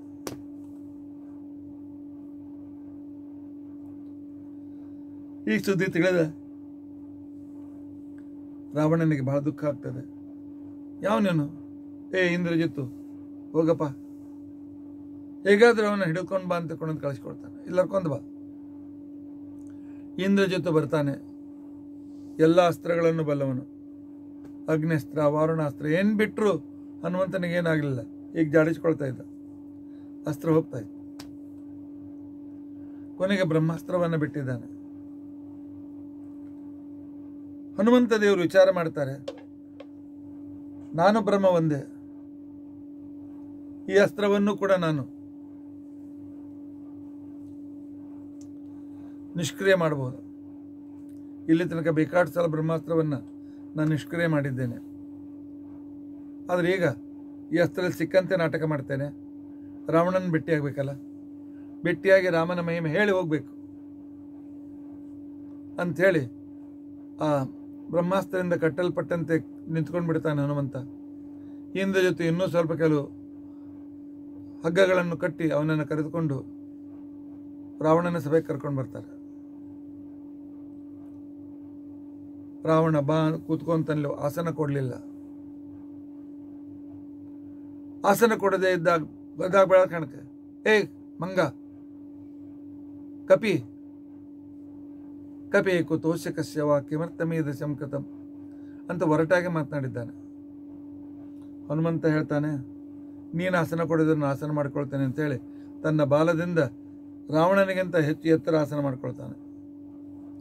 ಮಾಡಿಕೊಂಡು ಅವನ ಹತ್ರ ಅವನ ಕಡೆಗೆ ಬೆನ್ ಮಾಡಿ ಕೂತ್ಕೊಳ್ತಾನೆ ಮುಖ ಮಾಡಿಲ್ಲ ಅಂದರೆ ನಿನ್ನ ನನ್ನ ಎದುರಿಗೆ ನೀನೇನು ಎಕ್ಕಶ್ಚಿತ್ತನ್ನು ಅಂತ ತೋರಿಸ್ಕೊಟ್ಟಿದ್ದಾನೆ? ನಾನು ಯಾರಂತ ಕೇಳಿದ್ಯಾ? ಅವೈಹಿ ದೂತಮಾಗತಂ ದುರಂತ ವಿಕ್ರಮ ಮಾಂ ರಘುತ್ತಮಸ್ಯ ಮಾರುತಿಂ ಕುಲಕ್ಷೇತವೇಶ್ವರಂ. ನಾನು ಶ್ರೀರಾಮಚಂದ್ರನ ದೂತ. ನಮ್ಮ ಯಜಮಾನ ಅನುಮತಿ ಕೊಟ್ಟರೆ ಈ ಒಂದೇ ಕ್ಷಣದಲ್ಲಿ ಈ ಸಂಪೂರ್ಣ ಲಂಕೆಯನ್ನು ಹಾಳು ಮಾಡೋ ಸಾಮರ್ಥ್ಯ ನನ್ನ ಹತ್ರ ಇದೆ. ನಿಮ್ಮೆಲ್ಲರಿಗೂ ಬುದ್ಧಿ ಕಲಿಸುವ ಸಾಮರ್ಥ್ಯ ಇದೆ.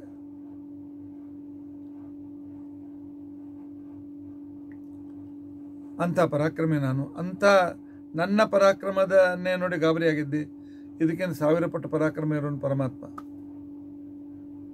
ನಚೇತ್ ಪ್ರದಾಶಸಿ ಪ್ರಿಯಾನ್, ಒಂದು ವೇಳೆ ನೀನು ಸೀತೆಯನ್ನು ವಾಪಸ್ ಕೊಡದೇ ಇದ್ದರೆ ಸುಪುತ್ರ ಮಿತ್ರ ಬಾಂಧವ ವಿನಾಶಮಾಶಿ ಯಶಸ್ಸಿ ಹೆಂಡತಿ ಮಕ್ಕಳ ಸಹಿತವಾಗಿ ನಿನ್ನ ಸಂಪೂರ್ಣ ವಿನಾಶನು ಹೊಂತಿ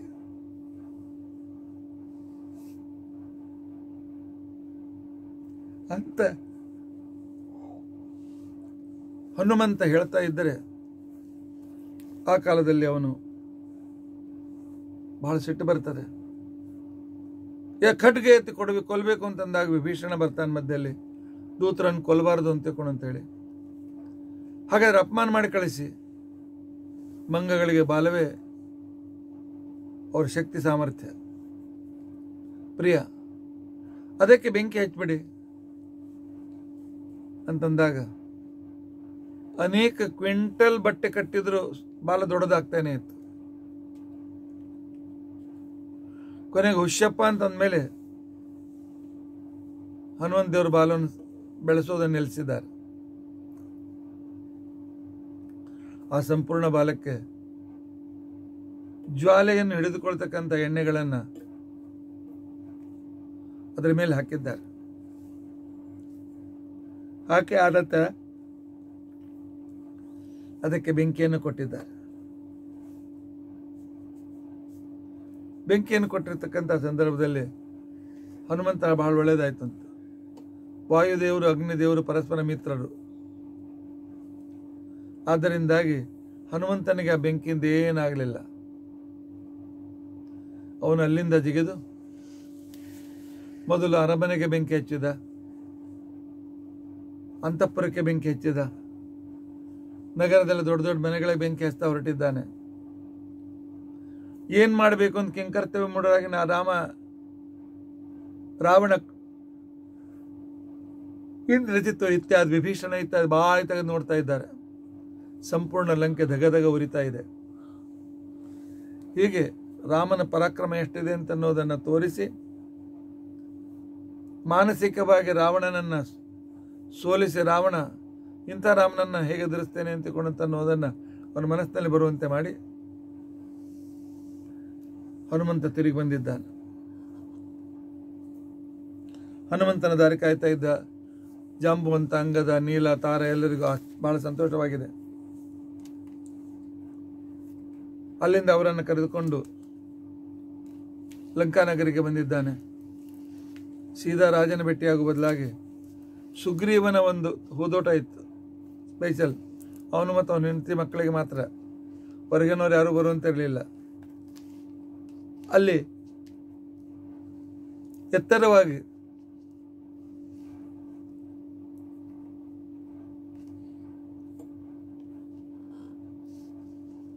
ಮರಗಳಿಂದ ಕೂಡಿದ ಆ ಸುಗ್ರೀವನ ಮಧುವನ ಅಂತ ಕೊಂಡಂತೇಳಿ ಬೇಕಾದಷ್ಟು ಹಲಸಿನ ಗಿಡಗಳು, ಬೇಕಾದಷ್ಟು ಜೇನು, ಜೇನುನೊಣಗಳ ಗೂಡುಗಳು ಇದ್ದು.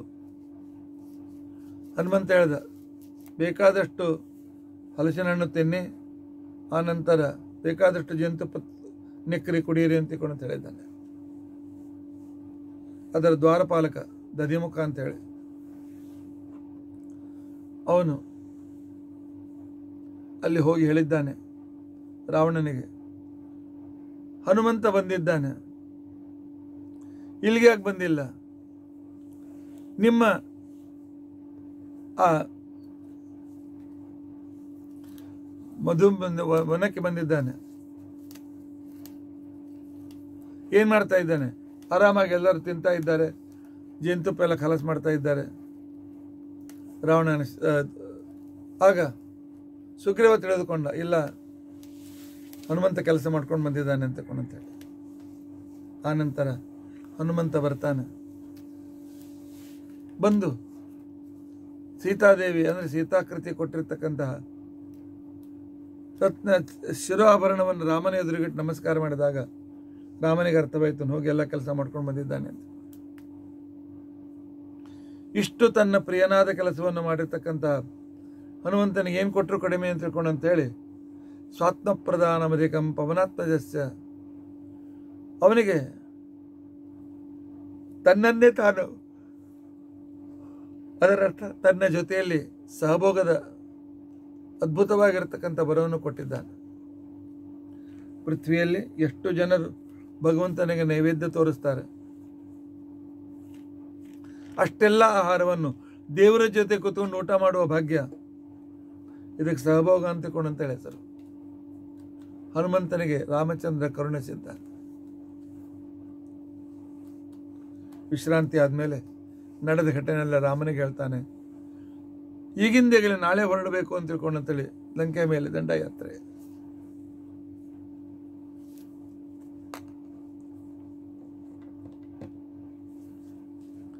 ಆಗ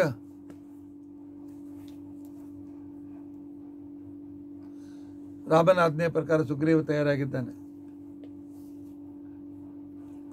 ವಿಶಾಲವಾದ ಸೈನ್ಯವನ್ನು ತೆಗೆದುಕೊಂಡು ಬಂದು ಸಮುದ್ರ ದಂಡೆಗೆ ಈಗ ಬಂದದ್ದು ಧನುಷ್ಕೋಟಿಗೆ. ಹನುಮಂತ ಜಿಗಿದದ್ದು ಒರಿಸ್ಸಾದಿಂದ ಲಂಕೆಗೆ.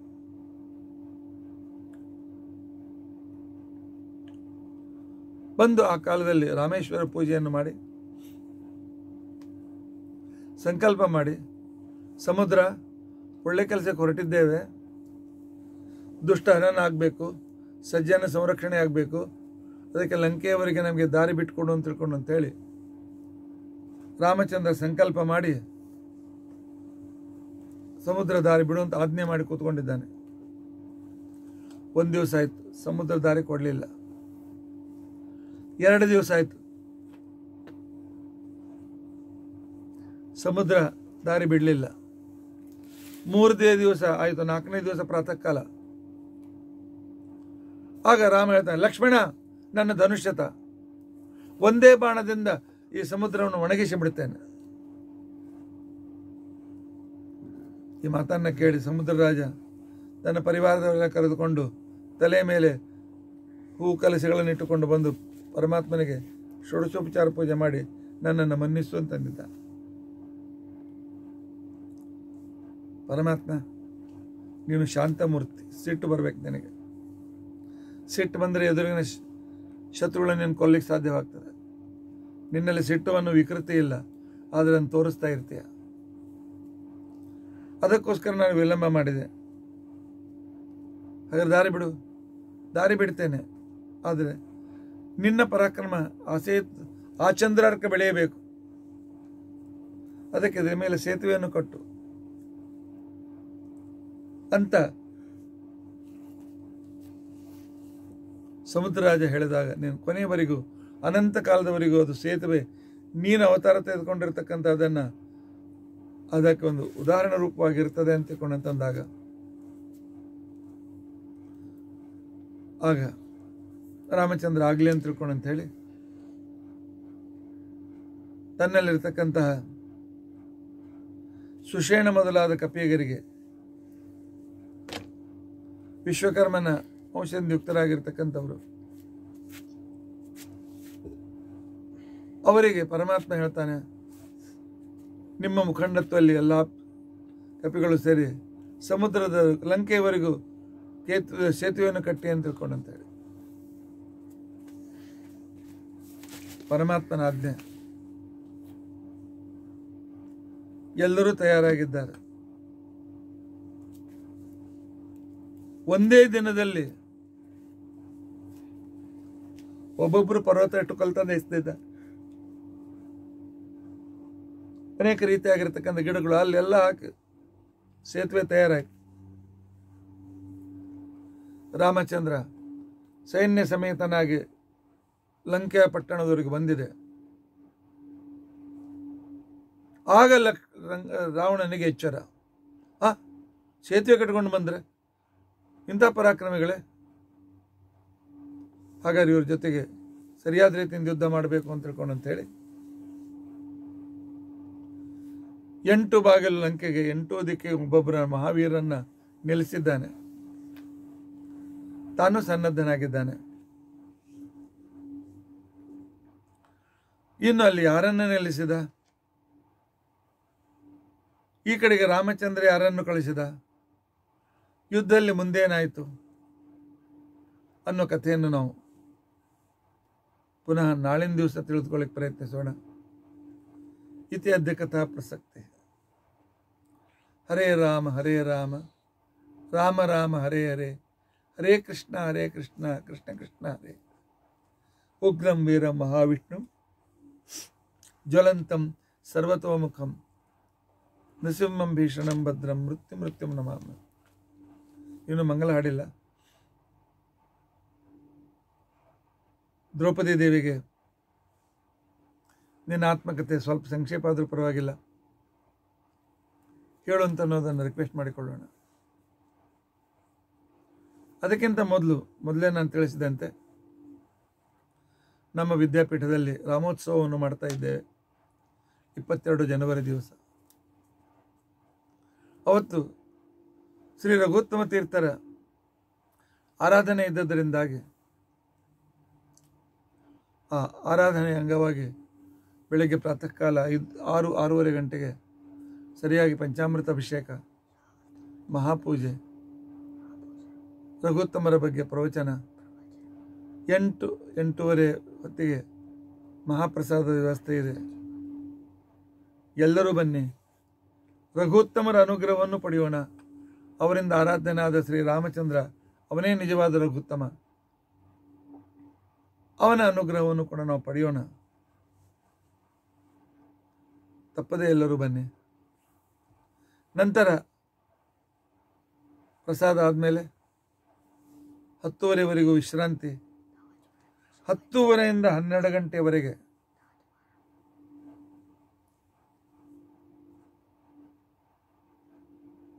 ಹೊಸೆಯಲ್ಲಿ ಒಂದು ವಿಶೇಷವಾದಂಥ ಭಜನಾ ಮಂಡಳಿ ಇದೆ. ಅವರು ಮರಾಠಿ, ಹಿಂದಿ, ಕನ್ನಡ ಎಲ್ಲ ಹಾಡುಗಳನ್ನು ಹಾಡ್ತಾರೆ. ಸುಮಾರು ಹತ್ತು ಜನ, ಹದಿನೈದು, ಇಪ್ಪತ್ತು ಜನರ ಗುಂಪಿದೆ. ನಾಳೆ ಹತ್ತು ಜನ ಬರೋರಿದ್ದಾರೆ. ಅವರು ತಾವೇ ತಮ್ಮ ಜೊತೆಗೆ ತಬಲ, ಹಾರ್ಮೋನಿಯಂ ಇತ್ಯಾದಿ ಸಲಕರಣೆ ಜೊತೆಗೆ ಬಂದು ಒಳ್ಳೆ ಉತ್ತಮವಾದ ಭಜನೆಯನ್ನು ಮಾಡ್ತಾರೆ. ಆದ್ದರಿಂದ ಹತ್ತುವರಿಂದ ಹನ್ನೆರಡನೇ ಭಜನೆಯಲ್ಲಿ ಎಲ್ಲರೂ ಭಾಗವಹಿಸಿ. ಅದಾದ ನಂತರ ಸಾಯಂಕಾಲ ನಾಲ್ಕು ಗಂಟೆಯವರೆಗೂ ವಿಶ್ರಾಂತಿ. ನಾಲ್ಕು ಗಂಟೆಗೆ ಬೋರಿವಲಿ ಅಮೃಣಿ ಭಜನಾ ಮಂಡಳಿಯವರು. ಆನಂತರ ವಸೈಯ ಇನ್ನೊಂದು ಭಜನಾ ಮಂಡಳಿ, ಗುರುರಾಜ್ ಮಾನವ ಜಾಗೃತಿ ಕೇಂದ್ರ, ಭಜನಾ ಮಂಡಳಿಯವರು ಇಬ್ಬರು ಬರ್ತಾರೆ. ಬಂದು ಒಂದೂವರೆ ಗಂಟೆವರೆಗೂ ಭಜನೆಯನ್ನು ಮಾಡ್ತಾರೆ. ಸರಿಯಾಗಿ ಐದೂವರೆಗೆ, ನಾಲ್ಕರಿಂದ ಐದೂವರೆ ಭಜನೆ, ಐದೂವರೆಗೆ ಸರಿಯಾಗಿ ಸಹಸ್ರ ದೀಪೋತ್ಸವ. ಭಗವಂತನ ಎದುರಿಗೆ ಸಹಸ್ರ ದೀಪೋತ್ಸವವನ್ನು ಮಾಡಿ ನಾವು ಸಾರ್ಥಕವಾಗಿ ಈ ರಾಮನ ಪ್ರತಿಷ್ಠೆ, ಅಯೋಧ್ಯೆಯಲ್ಲಿ ರಾಮನ ಪ್ರತಿಷ್ಠೆಯ ಜೊತೆಗೆ ನಾವು ಆನಂದದಲ್ಲಿ ಭಾಗವಾಗೋಣ. ಪರಮಾತ್ಮ ಅನುಗ್ರಹಕ್ಕೆ ಪಾತ್ರರಾಗೋಣ. ತಪ್ಪದೇ ಬನ್ನಿ. ದೇವಿ, ದ್ರೌಪದಿ ದೇವಿ ಪಾರಮ್ಮ ಭಾಳ ವಿಳಂಬ ಆಗಿದೆ ಕತೆ ಹೇಳಮ್ಮ.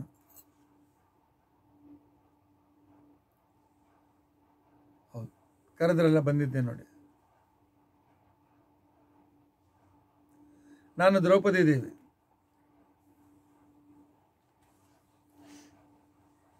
ವಿಜಯ ಪಥದಲ್ಲಿ ಇರ್ತಕ್ಕಂಥ ಅತ್ಯಂತ ಆನಂದದಿಂದ ಇರ್ತಕ್ಕಂಥವಳು. ಹದಿನೆಂಟನೇ ದಿವಸದ ಮಧ್ಯಾಹ್ನ ಶಲ್ಯ ಮೃತನಾದ ದುರ್ಯೋಧನ ಓಡಿ ಹೋಗಿ ವೈಶಂಪಾಯನ ಸರೋವರದಲ್ಲಿ ಅಡಗಿದ್ದಾನೆ. ಭೀಮ ಅವನನ್ನು ಹುಡುಕಿಸೋದಕ್ಕೋಸ್ಕರ ಯಾರು ಅವರನ್ನು ಹುಡುಕೊಡ್ತೀರಿ ಅವರಿಗೆ? ಲಕ್ಷ ಬಂಗಾರದ ನಾಣ್ಯ ಕೊಡ್ತೇನೆ ಅಂತ ಹೇಳಿದಾಗ ಆ ದಾರಿಂದ ಹೊರಟಿರ್ತಕ್ಕಂಥ ಇಬ್ಬರು ಬೇಡ್ರವರು. ಇಬ್ಬರು ಮೂರ್ನಾಲ್ಕು ಜನ ಇದ್ದರು ಅವರು ದುರ್ಯೋಧನ ಅದರ ಆ ಕೊಳದಲ್ಲಿ ಸರೋವರದಲ್ಲಿ ಮುಳುಗು ಒಳಗೆ ಮುಳುಗ್ತಾ ಇರೋದನ್ನು ನೋಡಿದರು. ಅವರು ಬಂದು ಈ ಕೃತವರ್ಮ ಕೃಪಾಚಾರ್ಯ ಅಶ್ವತ್ಥಾಮಾಚಾರ್ಯ ಕುದುರೆ ನಿಂತಿದ್ದು, ಆ ಕುದುರೆ ಮೇಲೆ ಇಬ್ಬರು ಮೂರು ಜನ ಕೂತ್ಕೊಂಡು ಹೊರಟೋಗ್ಬಿಟ್ಟಿದ್ದಾರೆ. ಭೀಮನಿಗೆ ಸುದ್ದಿ ತಿಳಿಸಿದ್ದಾರೆ. ಭೀಮ, ಎಲ್ಲರನ್ನು ಕರೆದುಕೊಂಡು ವೈಶಂಪರ ಸರೋವರಕ್ಕೆ ಬಂದಿದ್ದಾನೆ. ಕೃಷ್ಣ, ಅರ್ಜುನ ಬಲ್ಲರ ಆನಂತರ ಈ ಕಡೆಯಲ್ಲಿ ಧರ್ಮರಾಜ, ಅರ್ಜುನ ನಕುಲ ಸಹದೇವರು ಸಾತ್ಯಕಿ ಇತ್ಯಾದಿ ಯಾರ್ಯಾರು ಪಾಂಡವರ ಕಡೆ ಉಳಿದಿದ್ದರು, ಅವರೆಲ್ಲರೂ ಬಂದಿದ್ದಾರೆ.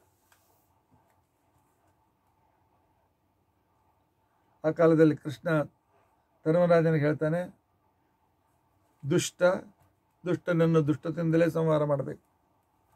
ಧರ್ಮ ಅದು ಇದು ಅಂತ ಅವ್ಯಾವಹಾರಿಕ ಮಾತನಾಡ್ಲಿಕ್ಕೆ ಹೋಗಬೇಡ ಇಂಪ್ರಾಕ್ಟಿಕಲ್ ಮಾತಾಡಬೇಡ. ಆ ಕಾಲದಲ್ಲಿ ಸರೋವರದ ಹತ್ರ ಬರ್ತಾರೆ. ಹೇಳ್ತಾರೆ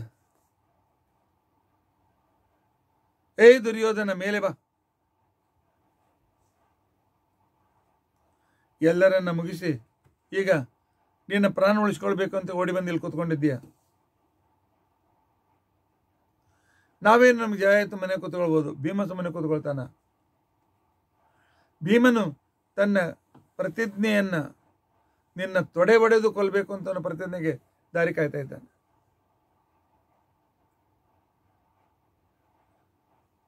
ದುರ್ಯೋಧನ ಬರಲಿಲ್ಲ. ಆ ಸಂದರ್ಭದಲ್ಲಿ ನಕುಲ, ಸಹದೇವ, ಅರ್ಜುನ ಎಲ್ಲರೂ ಮಾತನಾಡ್ತಾರೆ. ನೀನು ಮೇಲೆ ಬರಲಿಕ್ಕೆ ಬೇಕು. ಇಲ್ಲದಿದ್ರೆ ನಾವೇ ನೀರಿನಲ್ಲಿ ಹೋಗ್ತೇವೆ? ನಿನ್ನ ಹುಡುಕಿ ತೆಗಿತೇವೆ ಅಂತಕೊಂಡಿದ್ದಾರೆ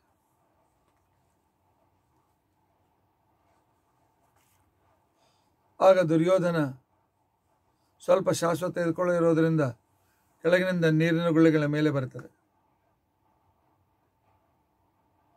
ಆಗ ದುರ್ಯೋಧನ ಹೇಳ್ತಾನೆ ಏ ನೀರಿನಲ್ಲಿರ್ತಕ್ಕಂಥ ಮಹಾರಾಜ, ಮ್ಯಾಲ್ಬಾರೋ ಆ ಕಾಲದಲ್ಲಿ ಮೇರ್ನೇಳಿಂದಲೇ ಜೋರಾಗಿ ಮಾತಾಡ್ತಾನೆ. ನನ್ನನ್ನು ಮಹಾರಾಜ ಅಂತ ಕರೆದೀಯಾ? ಎಲ್ಲಿ ಮಹಾರಾಜಪ್ಪ? ನನ್ನ ಎಲ್ಲ ಸೈನಿಕರನ್ನು, ರಥ, ಕವಚ, ಸಾರಥಿ, ಬಂಧು, ಬಳಗ, ಎಲ್ಲರನ್ನೂ ಕೂಡ ನಾನು ಕಳೆದುಕೊಂಡು ಬಂದಿದ್ದೇನೆ. ಆದರೆ ಶ್ರಮ ಪರಿಹಾರ ಆಗಲಿ ಅಂತ ಬಂದಿದ್ದೇನೆ. ನಾನು ಹೇಳಿ ಅಂತ ಅಡ್ಕೊಂಡಿರಲಿಲ್ಲ ಅಂತ ಕೊಂಡಿದ್ದೆ ಹಾಗಾದ್ರೆ ಮೇಲೆ ಬಾ ನಮ್ಮ ಜೊತೆ ಯುದ್ಧ ಮಾಡಬೇಕು. ಯುದ್ಧ ಮಾಡಬೇಕು? ಮಾಡ್ತೇನೆ. ಆದರೆ ಒಂದೊಂದು ಕರಾರಿದೆ. ಧರ್ಮರಾಜ ಅಂತಾನೆ, ಏನು ಕರಾರಪ್ಪ ನಿನಗೆ? ಯಾವ ಕರಾರು ಮಾಡ್ತಾ ಇದ್ದೀರಿ? ಇಲ್ಲ, ನೀವು ಇಷ್ಟು ಜನ ನಾನೊಬ್ಬನೇ ಅನೇಕ ಜನರು ಸೇರಿ ಭೀಷ್ಮ ದ್ರೋಣ ಕಂಡ್ರನ್ನು ಕೊಂದಂತೆ ನನ್ನ ಕೊಡ್ಲಿಕ್ಕೆ ಹೋಗಬೇಡಿ. ಒಬ್ಬನು ನನ್ನ ಜೊತೆ ಒಬ್ಬನು ಯುದ್ಧ ಮಾಡಬೇಕು ಉಳಿದವ್ರು ನೋಡ್ತಾ ಇರ್ಬೇಕು. ಓ, ದ್ವಂದ್ವ ಯುದ್ಧ ಅಂತಂತೀಯ? ಬೇಲೆ ಬಾ ಬಾ. ಧರ್ಮರಾಜ ಬಿಟ್ಬಿಡಲ್ಲ. ನನ್ನಷ್ಟಕ್ಕೆ ನಾನು ಇಲ್ಲಿ ನೀರಲ್ಲಿ ಕೂತ್ಕೊಂಡಿದ್ದೇನೆ. ಹೋಗಿ ರಾಜ್ಯವನ್ನು ಆಳು. ನೋಡು ನನ್ನ ರಾಜ್ಯ ನಿನಗೆ ಕೊಟ್ಟುಬಿಟ್ಟಿದ್ದೇನೆ ನನಗೆ ಆ ರಾಜ್ಯವನ್ನು ಆಳುವ ಇಚ್ಛೆಯೂ ಕೂಡ ಇಲ್ಲ. ಇಷ್ಟು ದಿವಸ ಅನೇಕ ರಾಜರು ಅಂತಿಕೊಂಡಂತನ್ನವರಿಂದ ಕೂಡಿದ ಮುತ್ತೈದೆಯಾದ ಭೂದೇವಿಯನ್ನು, ಭೂಮಿಯನ್ನು ನಾನು ಆಳಿದ್ದೇನೆ ಇವತ್ತು ಎಲ್ಲ ರಾಜರನ್ನು ಕಳೆದುಕೊಂಡು ಭೂಮಿ ವಿಧವೆಯಾಗಿದ್ದಾಳೆ. ಆ ವಿಧವೆಯ ಜೊತೆಯನ್ನು ನಾನು ಹೇಗೆ ಜೊತೆ ಇರಲಿ? ನಿಮಗೆ ರಾಜ್ಯ ಕೊಟ್ಟಿದ್ದೇನೆ, ಹೋಗಿ.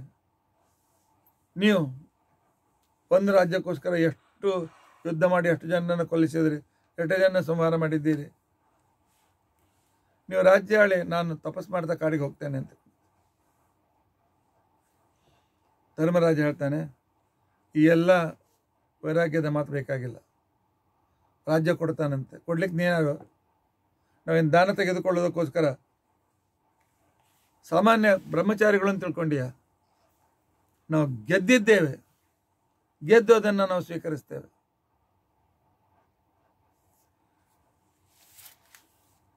ಅಹಂವನಂ ಗಮಿಷ್ಯಾಮಿ. ಅಜನೇ ಪ್ರತಿಭಾಸಿತಃ ನಾನು ಕಾಡಿಗೆ ಹೋಗ್ತೇನೆ, ತಪಸ್ ಮಾಡ್ತೇನೆ ಅಂತಂತೀಯಲ್ಲ. ನಾವೇನಾದರೂ ಬಿಟ್ಟರು ಬಿಡ್ಬೋದು. ಆದರೆ ಭೀಮನಿಗೆ ತನ್ನ ಪ್ರತಿಜ್ಞೆ ಪೂರೈಸಿಕೊಳ್ಳುವ ಅವಕಾಶ ಬಂದಿದೆ. ಅವನು ಬಿಡ್ತಾನೇನು? ಆವಯೋರ್ ಜೀವತೋ ರಾಜನ್ ಮೈಚತ್ವ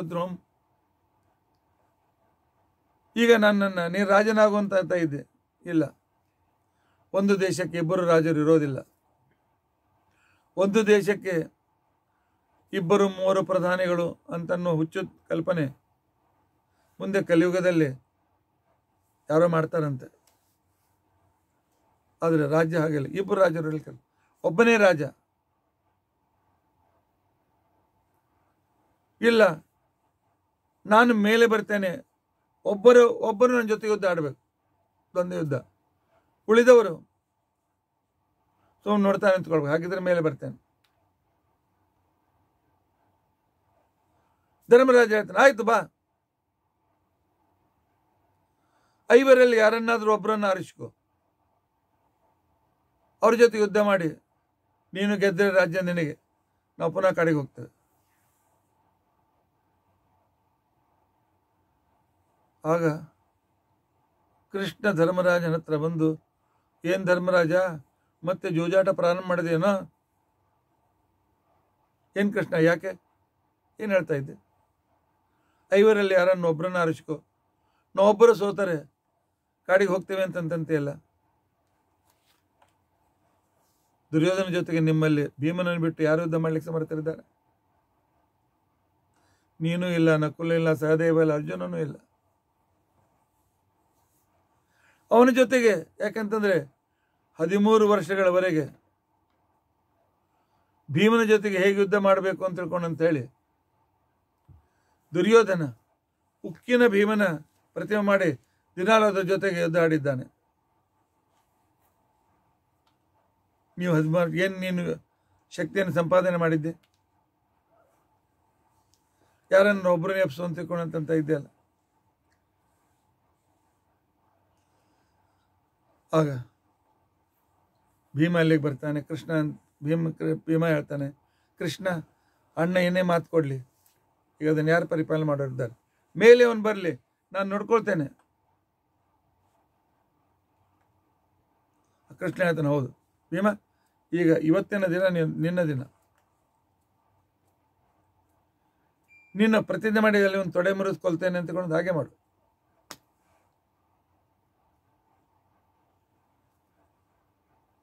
ಅಂತಹ ಸಂದರ್ಭದಲ್ಲಿ ಭೀಮ ಹೇಳ್ತಾರೆ ಏ ಪಾಪಿ, ಏನು ಒಳಗೆ ಕುತ್ಕೊಂಡು ಧರ್ಮ ಒಬ್ಬರ ಜೊತೆಗೆ ಒದ್ದಾಡ್ತಾನೆ? ಹಾಗೆ ಹೀಗೆ ಕರಾರ್ ಹಾಕೊಂಡೇನು ಯಾರು? ಮೇಲ್ ಬಾ. ನಿಮ್ಮ ತಮ್ಮ ದುಶಾಸನ ಕೊಂದಂತೆ ನೆನ್ನು ಕೊಲ್ಬೇಕಾಗಿದೆ ಹೊರಗೆ ಬಾ ಕೊಲದ್ರೋಹಿ, ಹೊರಗೆ ಬಾ. ಭೀಮನ ಈ ಸಿಂಹನಾದವನ್ನ ಕೇಳಿ, ದುರ್ಯೋಧನ ನೀರಿನಲ್ಲೇ ಬೆವತನಂತೆ. ರನ್ನ ಅಂತ ಕನ್ನಡದ ಒಬ್ಬ ಕವಿ. ಗದಾ ಯುದ್ಧ ಅಂತ ತಿಳ್ಕೊಂಡಂತ ಅನ್ನೋದನ್ನು ಪ್ರಾಚೀನ ಕನ್ನಡದಲ್ಲಿ ಹಳೆಗನ್ನಡದಲ್ಲಿ ಕಪ್ಪಿರಿದ್ದಾನೆ. ಭೀಮನ ಈ ಮಾತನ್ನು ಕೇಳಿ ಸರೋವರದ ನೀರಿನಲ್ಲಿರ್ತಕ್ಕಂಥ ದುರ್ಯೋಧನ ಬೆಮರ್ತನ್ ಉರಗ ಪತಾಕಂ. ದುರ್ಯೋಧನ ಗಾಬರಿಯಿಂದ ಬೆವರಿದ್ದಾನಂತೆ. ಅಲ್ಲೇ ಬೆವರು ಬೆಳಿಗ್ಗೆ ಪ್ರಾರಂಭ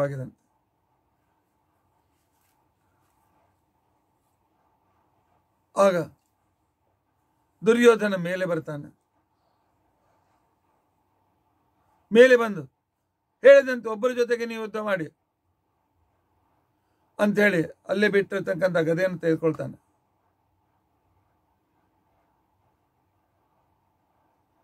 ದುರ್ಯೋಧನ ಹೇಳ್ತಾನೆ, ಯಾರು ಬೇಕಾದರೂ ನನ್ನ ಜೊತೆಗೆ ಬನ್ನಿ. ಭೀಮ ಹೇಳ್ತಾನೆ, ನಾನು ತಯಾರಿದ್ದೆ ನಡೆ. ಇಬ್ಬರ ಯುದ್ಧ ಪ್ರಾರಂಭವಾಯಿತು. ಆಕಾಶ ಹೌಸ್ಫುಲ್ ಒಂದು ಕಡೆಗೆ ಎಲ್ಲ ಅಸುರರು ಆಕಾಶದಲ್ಲಿ, ಉಳಿದ ಅರ್ಧ ಆಕಾಶದಲ್ಲಿ ದೇವತೆಗಳು. ಅಸುರರು ಅಂತ ಇದ್ದಾರೆ ದುರ್ಯೋಧನ್ಗೆ ಜಯ, ದುರ್ಯೋಧನ್ ಮಹಾರಾಜ್ಗೆ ಜಯ ಅಂತ ತಿಳ್ಕೊಂಡಂತಾರೆ ದೇವತೆಗಳಂತ ಇದ್ದಾರೆ ಭೀಮಸೇನ್ ಕೆ ಜಯ ಅಂತ ತಿಳ್ಕೊಂಡಂತೇಳಿ. ಇಬ್ಬರಲ್ಲಿ ಯುದ್ಧ ಯುದ್ಧ ಪ್ರಾರಂಭವಾಗ್ತದೆ. ಅಷ್ಟರಲ್ಲಿ ಅನೇಕ ಜನರು ಬರ್ತಾ ಇರುವುದು. ಆನಂತರ ಮಂಗಳವಾದ್ಯ ಕೇಳಿಸ್ತದೆ. ಕೃಷ್ಣ ಅಂತ ಇಲ್ಲಾರು ಬರ್ತಾ ಇದ್ದಾರಪ್ಪ ಅಂತ ಹೇಳಿ ನೋಡಿದರೆ ಬಲರಾಮ ತೀರ್ಥಯಾತ್ರೆಯನ್ನು ಮುಗಿಸ್ಕೊಂಡು ಬಂದಿದ್ದ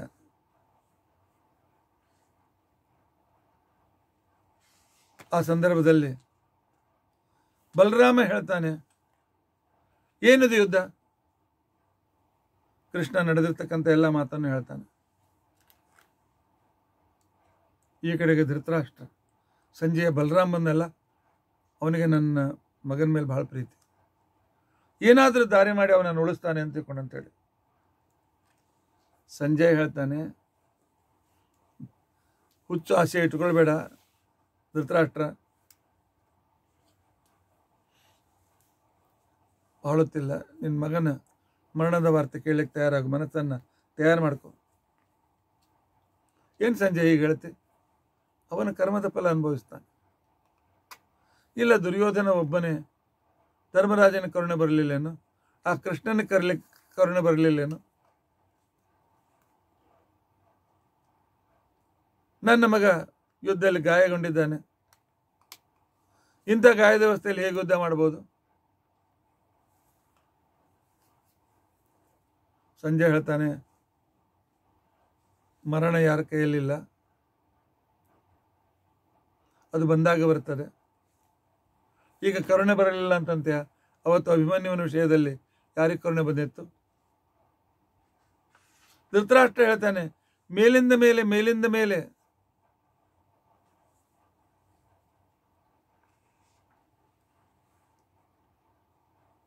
ಈ ರೀತಿಯಾಗಿ ಕರುಣೆ ಕರುಣೆ ಅಂತಂತ ಇದೆ. ನಿನ್ನ ಮಗ ಎಂದಾದರೂ ಕರುಣೆ ತೋರಿಸಿದ್ದಾನೆ?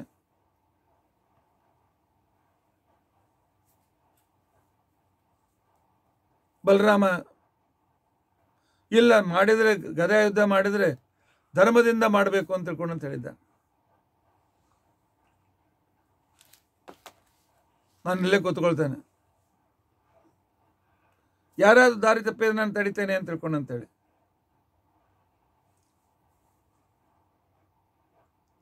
ಅವರಿಬ್ಬರಲ್ಲಿ ಘನಘೋರವಾದ ಗದಾಯುದ್ಧ ಪ್ರಾರಂಭವಾಗ್ತದೆ.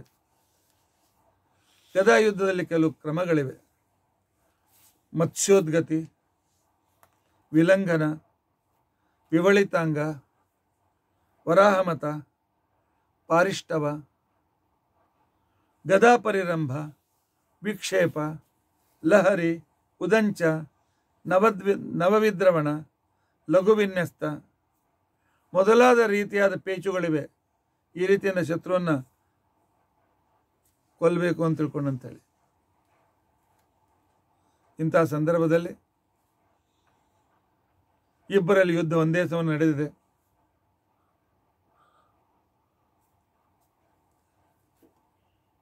ಆಗ ಸಂದರ್ಭದಲ್ಲಿ ದುರ್ಯೋಧನ ಒಂದು ವಿಶೇಷವಾಗಿರ್ತಕ್ಕಂಥ ರೀತಿಯಲ್ಲಿ ಮೋಸದ ಯುದ್ಧವನ್ನು ಮಾತನಾಡ್ತಾ ಇದ್ದಾನೆ.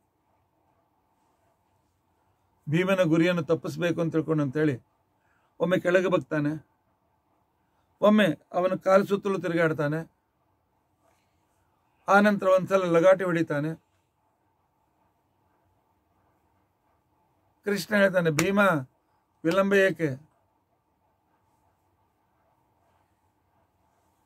ಆಗ ಇನ್ನೊಂದ್ಸಲ ದುರ್ಯೋಧನ ಲಗಾಟೆ ಹೊಡಿತಾನೆ. ಇವನ ಕಡೆ ತಪ್ಪಿಸ್ಕೊಳ್ಬೇಕು ಅಂತ ತಲೆ ಮೇಲೆ ಏಟು ಬೀಳಬಾರದು ಅಂತ ಅಂತೇಳಿ ಕಾಲ್ ಮೇಲೆ ಕೈ, ಕೆಳಗೆ ಹೀಗೆ, ಕೈ ಮೇಲೆ ನಿಂತ್ಕೊಳ್ತಾನೆ. ಅದೇ ವೇಳೆಗೆ ದುರ್ಯೋಧನ ಭೀಮಸೇನ ಅವನ ತೊಡೆಗೆ ಹೊಡೆದರೆ, ಎರಡೂ ತೊಡೆಗಳು ತುಂಡಾಗಿ ದುರ್ಯೋಧನ ದಪ್ಪನೆ ಕೆಳಗೆ ಬೀಳ್ತಾನೆ. ಕೆಳಗೆ ಬೀಳ್ತಕ್ಕಂಥ ಸಂದರ್ಭದಲ್ಲಿ, ಆ ಕಾಲದಲ್ಲಿ ಭೀಮಸೇನ ಅವನ ಎದೆ ಮೇಲೆ ಕಾಲಿಡ್ತಾನೆ. ನೀನೇ ಅಲ್ಲೇನು? ನನಗೆ ಷಂಡ ಅಂತಿಕೊಂಡಂತ ಅನಿಸಿ ಅಂದಿದ್ದಿ? ನನಗೆ ಈ ಹಾಗೆ ಹೀಗೆ ಅಂತ ಅಂದಿದ್ದಿ? ರಕ್ತ ದುರ್ಯೋಧನ. ಇನ್ನು ಮುಗೀತು ನನ್ನ ಕಥೆ ಅಂತ ತಿಳ್ಕೊಂಡಂತ ಅಂದಿದ್ದ. ದುರ್ಯೋಧನ ಕೆಳಗೆ ಬಿದ್ದಿದ್ದಾನೆ. ತೊಡೆ ಒಡೆದು ಪೂರ್ತಿ ರಕ್ತ ಸುರಿತಾ ಇದೆ. ಬಲರಾಮನಿಗೆ ಅವನ ಮೇಲೆ ಕರುಣೆ ಬರ್ತದೆ. ಬಲರಾಮ ಅಂತಾನೆ, ಏ, ಇಲ್ಲ ಇಲ್ಲ, ಇದು ನಿಯಮಭಂಗ ಗದಾಯುದ್ಧದಲ್ಲಿ ಸೊಂಟದ ಕೆಳಗೆ ಹೊಡಿಬಾರದು ಅಂತ ನಿಯಮ ಇದೆ. ಇವನು ತೊಡೆಗೆ ಹೊಡೆದಿದ್ದಾನೆ. ಆದ್ದರಿಂದಾಗಿ ಅನ್ಯಾಯ, ನಾನು ಭೀಮ ನನ್ನ ಜೊತೆ ಯುದ್ಧಕ್ಕೆ ಬಾ.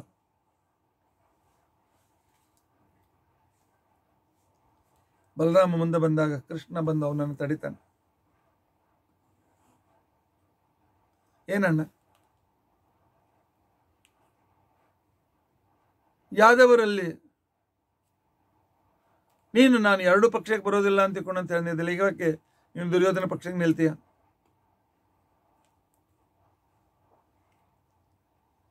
ಮತ್ತೆ ಈ ರೀತಿಯಾಗಿ ಯಾಕೆ ನೀನು ಅವನು ಮಹಾದ್ರೋಹಿ? ಅನೇಕ ರೀತಿಯಾಗಿರ್ತಕ್ಕಂಥ ಪಾಪಗಳನ್ನು ಮಾಡಿರ್ತಕ್ಕಂಥ ವ್ಯಕ್ತಿ. ಅವನಿಗೆ, ಅವನ ತಪ್ಪಿನಿಂದ ಅವನು ಸಾವಾಗಿದೆ. ದೂರ ಕರೆದುಕೊಂಡು ಹೇಳ್ತಾನೆ, ಬಲರಾಮ, ಇವನ ಜೊತೆ ಯುದ್ಧ ನೀ ಗೆಲ್ತೀಯ ನೀನು? ಸುಮ್ಮನೆ ಮರ್ಯಾದೆ ಕಳ್ಕೊಳ್ಬೇಡ. ಯುದ್ಧ ಅವರಲ್ಲಿ ನಡೆದಿದೆ. ಆ ನಾ ಇಲ್ಲಿರೋದಿಲ್ಲ ಅಂತಕೊಂಡು ಅಂತೇಳಿ ಬಲರಾಮ್, ಹೊರಟೋಗಿದ್ದಾನೆ ಕೃಷ್ಣ ಅಂತ ಆಯ್ತು, ಹೋಗ್ಬಿಡು ಅಂತ. ಇದೇ ಸಂದರ್ಭದಲ್ಲಿ ಅವನ ತೊಡೆ ಒಡೆದ ಸುದ್ದಿಯನ್ನು ಕೇಳಿ, ನಾನು ಶಿಬಿರದಿಂದ ಹೊರಗೆ ಓಡಿ ಬಂದಿದ್ದೆ. ಬಹಳ ಆನಂದವಾಯಿತು ಬಹಳ ಆನಂದವಾಯಿತು. ಹೌದು, ನಾನು ದ್ರೌಪದಿ ದ್ರೌಪದಿ ಸರ್ವ ವಿದ್ಯಾಸ್ಯ ಸಕಲ ವಿದ್ಯೆಗಳ ಪ್ರತಿನಿಧಿ ನಾನು. ನನ್ನ ಸ್ವರೂಪ ಏನು ಗೊತ್ತಿದೆ? ನಾನೇ ನಾಲ್ಕು ವೇದಗಳು. ನಾಲ್ಕು ವೇದಾಂಗಗಳು ನಾನು. ಬ್ರಹ್ಮಸೂತ್ರ, ಮಹಾಭಾರತ, ಮೂಲ ರಾಮಾಯಣ, ಪಂಚರಾತ್ರ, ನಾನೇ ಈ ಅಜ್ಞಾನ ಸ್ವರೂಪ ಆಗಿರ್ತಕ್ಕಂಥ ದುರ್ಯೋಧನನಿಂದ ನನ್ನ ಸ್ವರೂಪ ಮುಚ್ಚಿ ಹೋಗಿತ್ತು, ನನಗೆ ಅಪಮಾನವಾದಂತೆ ಆಯಿತು. ಇವತ್ತು ಅಜ್ಞಾನ ಹೊರಟೋಯಿತು. ಈ ಕಡೆಗೆ ಭೀಮ ಮಧ್ವರೂಪದಿಂದ ಅನುವ್ಯಾಖ್ಯಾನವನ್ನು ಬರೆದು ಮುಗಿಸಿದ. ಮೊದಲು ವಿಪರೀತ ಜ್ಞಾನವನ್ನು ಹೊಡೆದೊಡಿಸಿ ಸರಿಯಾದ ಜ್ಞಾನವನ್ನು ಜಗತ್ತಿಗೆ ಕೊಟ್ಟು ಅಜ್ಞಾನವನ್ನು ಪೂರ್ತಿ ಇಲ್ಲದಂತೆ ಮಾಡಿದ ಇದೇ ದ್ರೌಪದಿಯ ವಿಜಯ. ಹೌದು, ಭಕ್ತಿ, ಜ್ಞಾನ, ವೈರಾಗ್ಯ ಇತ್ಯಾದಿ ಗುಣಗಳಿಂದಲೇ ನಾವು ಇದ್ದರೆ ವಾದಿಯನ್ನು ಸುಲಭವಾಗಿ ಸೋಲಿಸಬಹುದು. ಆ ಕೆಲಸ ಭೀಮಸೇನ ಮಾಡಿದ್ದ ಆಗ ಭೀಮ ದುರ್ಯೋಧನ ಕೃಷ್ಣನನ್ನು ಬೈತಾನೆ. ಏನು ಕೃಷ್ಣ, ನಿನಗೂ ಇಷ್ಟೆಲ್ಲ? ನಿನ್ನಿಂದಲೇ ಇಷ್ಟೆಲ್ಲ ಆಯಿತು ಅಂತ ತಿಳ್ಕೊಂಡು ಅಂತೇಳಿ ಭೀಮ ಹೇಳ್ತಾನೆ, ನನ್ನ ದೇವರನ್ನ ಬೈದರೆ ನಾಳೆ ಕತ್ತರಿಸ್ತೇನೆ ಅಂತ ತಿಳ್ಕೊಂಡು ಅಂತೇಳಿ ಆಗ ಆ ಗದೆಯ ಚೂರನ್ನು ತೆಗೆದುಕೊಂಡು ಅವನು ನಾಲಿಗೆಯಲ್ಲಿ ಬಾಯಲ್ಲೇ ಹಾಕ್ತಾನೆ. ಅವನ ತಲೆ ಮೇಲೆ ಕಾಲಿಡ್ತಾನೆ. ಹೊಸಿತೇನೆ ನಿನ್ನ ತಲೆಯನ್ನು? ನನ್ನ ದೇವರಿಗೆ ನೀನು ಸಮಾಧಾನ ಮಾಡ್ತೀಯ ಅಂತ ತಿಳ್ಕೊಂಡಂತೆ. ಆಗ ಕೃಷ್ಣ ಧರ್ಮರಾಜ ಬಂದು ಹೇಳ್ತಾನೆ, ಯಾಕೆ ಕೊಲ್ತೀಯ? ತಾನಾಗೆ ಸಾಯ್ತಾನೆ. ವಿಲಿ ಒದ್ದಾಡಿ ಸಾಯಿಲಿ. ನೀನು ಈಗಲೇ ಕೊಂದರೆ ಅವನು ವೇದನೆ ಇಲ್ಲದೆ ಸಾಯ್ತಾನೆ. ತೊಡೆ ಮುಗಿಸ್ಕೊಂಡಿದ್ದಾನೆ ಮೈಯೆಲ್ಲ ಗಾಯ ಆಗಿದೆ, ರಕ್ತ ಸುರಿತಾ ಇದೆ.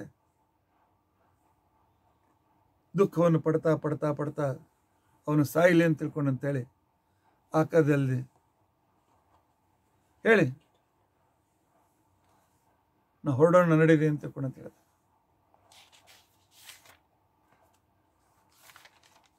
ಆಗ ಭೀಮ ಅವನನ್ನು ಬಿಟ್ಟುಬಿಟ್ಟಿದ್ದ ಪಾಂಡವರು ಶಿಬಿರದತ್ತ ಬರ್ತಾ ಇದ್ದಾರೆ. ನಾನು ಓಡಿ ಬಂದು ಆರತಿಯನ್ನೆಲ್ಲ ತಯಾರು ಮಾಡಿದ್ದೇನೆ. ನನ್ನ ಆ ಭೀಮನಿಗೆ ಕೃಷ್ಣನಿಗೆ ಆರತಿ ಮಾಡಬೇಕು ಅಂತ ತಿಳ್ಕೊಂಡ. ಪಾಂಡವರ ಜಯ ಜಯಕಾರವಾಯಿತು. ಆ ಕೊನೆಯಲ್ಲಿ ಕೌರವರ ಸ್ತ್ರೀಯರೆಲ್ಲರೂ ಕೂಡ ಗಾಬರಿಯಿಂದ ಹಸ್ತನಾವತಿ ಕಡೆ ಹೊರಟೋಗ್ಬಿಟ್ಟಿದ್ದಾರೆ. ಈ ಕಡೆಯಲ್ಲಿ ಶಿಬಿರದ ಹತ್ತಿರ ಬಂದಿರತಕ್ಕಂಥ ಸಂದರ್ಭದಲ್ಲಿ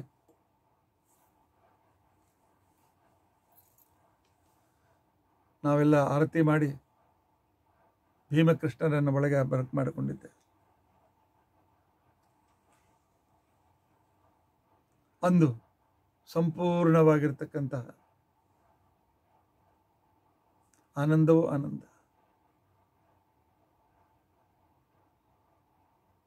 ಈ ಕಡೆಯಲ್ಲಿ ರಥದಲ್ಲಿ ರಥ ಹೊಡೆಸ್ಕೊಂಡು ಅದರಲ್ಲಿ ಅರ್ಜುನ ಕೂತ್ಕೊಂಡು ಬರ್ತಾನೆ. ಶಿಬಿರಕ್ಕೆ ಬಂದ ಕ್ಷಣಕ್ಕೆ ಅರ್ಜುನನು ಆನಂದಲ್ಲಿದೆ ನಾವು ಗೆದ್ದವರು, ನಾವಿನ್ನು ರಾಜರು ಅಂತ ತಿಳ್ಕೊಂಡು ಅಂತೇಳಿ ಅದ್ರ ಜೊತೆಗೆ ಅಹಂಕಾರವೂ ಬಂತು. ಶಿಬಿರ ಬಂದ ಕ್ಷಣಕ್ಕೇನೆ? ಕೃಷ್ಣ ಆಯ್ತು ಅರ್ಜುನ, ಶಿಬಿರ ಬಂತೇಳಿ.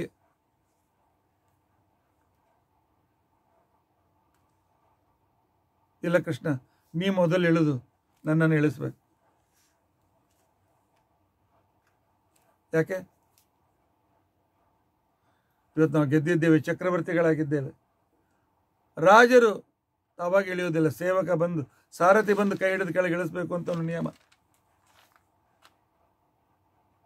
ಅದಕ್ಕೋಸ್ಕರ ಕೃಷ್ಣ, ಇವತ್ತು ನೀನು ಮೊದಲಿಯಲ್ಲಿ ದೇವರು ಅಂತ ಮರೆದು ಬಿಟ್ಟ, ಎಲ್ಲ ಮರೆತು ಬಿಟ್ಟಿದ್ದಾನೆ. ಅಹಂಕಾರ ಅಷ್ಟು ಬಂದಿದೆ. ಕೃಷ್ಣ ತಿರುಗಿ ನೋಡಿ, ಕೆಂಪು ಕಣ್ಣಿಂದ, ಇಳಿತೀಯೋ? ಅರ್ಜುನಿಗೆ ಗಾಬರಿ ಆದ ಇನ್ನೇನು ಕೃಷ್ಣ ಬಿಡೋದಿಲ್ಲ ಅಂತಿಕೊಂಡು ಅಂತೇಳಿ ಕೆಳಗೆ ಇಳಿದ. ಕೃಷ್ಣ ಹೇಳ್ತಾನೆ, ದೂರ ಸರಿ, ದೂರ ನಿಲ್ ಕೃಷ್ಣ ಕುದುರೆಗಳನ್ನು ಬಿಡಿಸಿ ಓಡಿಸಿಬಿಡ್ತಾನೆ. ಆನಂತರ ರಥದಿಂದ ಕೆಳಗೆ ಜಿಗಿದಾಕ್ಷಣಕ್ಕೇನೆ ರಥ ಸ್ಫೋಟವಾಗಿ ಒಂದೇ ಸಲ ಬೆಂಕಿ ತೂರಿಲಿಕ್ಕೆ ಚಾಲು ಆಗಿದೆ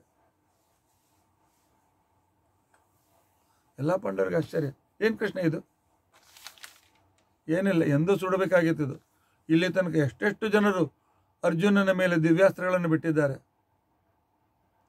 ಆದರೆ ನಾನಿದ್ದೆ ಅಂತ ತಿಳ್ಕೊಂಡಂತ ಹೇಳಿ ನನ್ನ ಸನ್ನಿಧಾನದಿಂದ ಈ ರಥ ಹಾಗೆ ಉಳಿದಿತ್ತು. ಈಗ ಅವಶ್ಯಕತೆ ಇಲ್ಲ ಅಂತಿಕೊಂಡು ಅಂತೇಳಿ ನಾನು ಸನ್ನಿಧಾನ ತೆಗೆದುಕೊಂಡಿದ್ದೇನೆ. ಅಷ್ಟರಲ್ಲಿ ಆ ರಥ ಹತ್ತೋಕ್ಕಿಂತ ಮೊದಲು ಅರ್ಜುನ ಇಳಿದಾಕ್ಷಣಕ್ಕೇನೆ ಧ್ವಜದಿಂದ ದೊಡ್ಡ ಕಪಿರೂಪ ಹೊರಗೆ ಬಂದು ಕೃಷ್ಣ ನನ್ನ ಕೆಲಸ ಆಯ್ತು ಹೋಗಿ ಬರ್ತೇನೆ ಅಂತ ತಿಳ್ಕೊಂಡಂತ ಹನುಮಂತ ಹೊರಟೋಗ್ಬಿಟ್ಟಿದ್ದ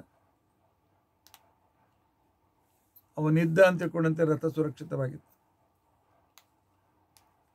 ಅವನು ನಾನಿಲ್ಲದೆ ಇದ್ದರೆ, ವಾಯುಜೀವೋತ್ತಮ ಹರಿಸರ್ವೋತ್ತಮರಿಲ್ಲದೆ ಇದ್ದರೆ ಯಾವ ವಸ್ತು ಕೂಡ ಉಳಿಯೋದಿಲ್ಲ. ಆದ್ದರಿಂದಾಗಿ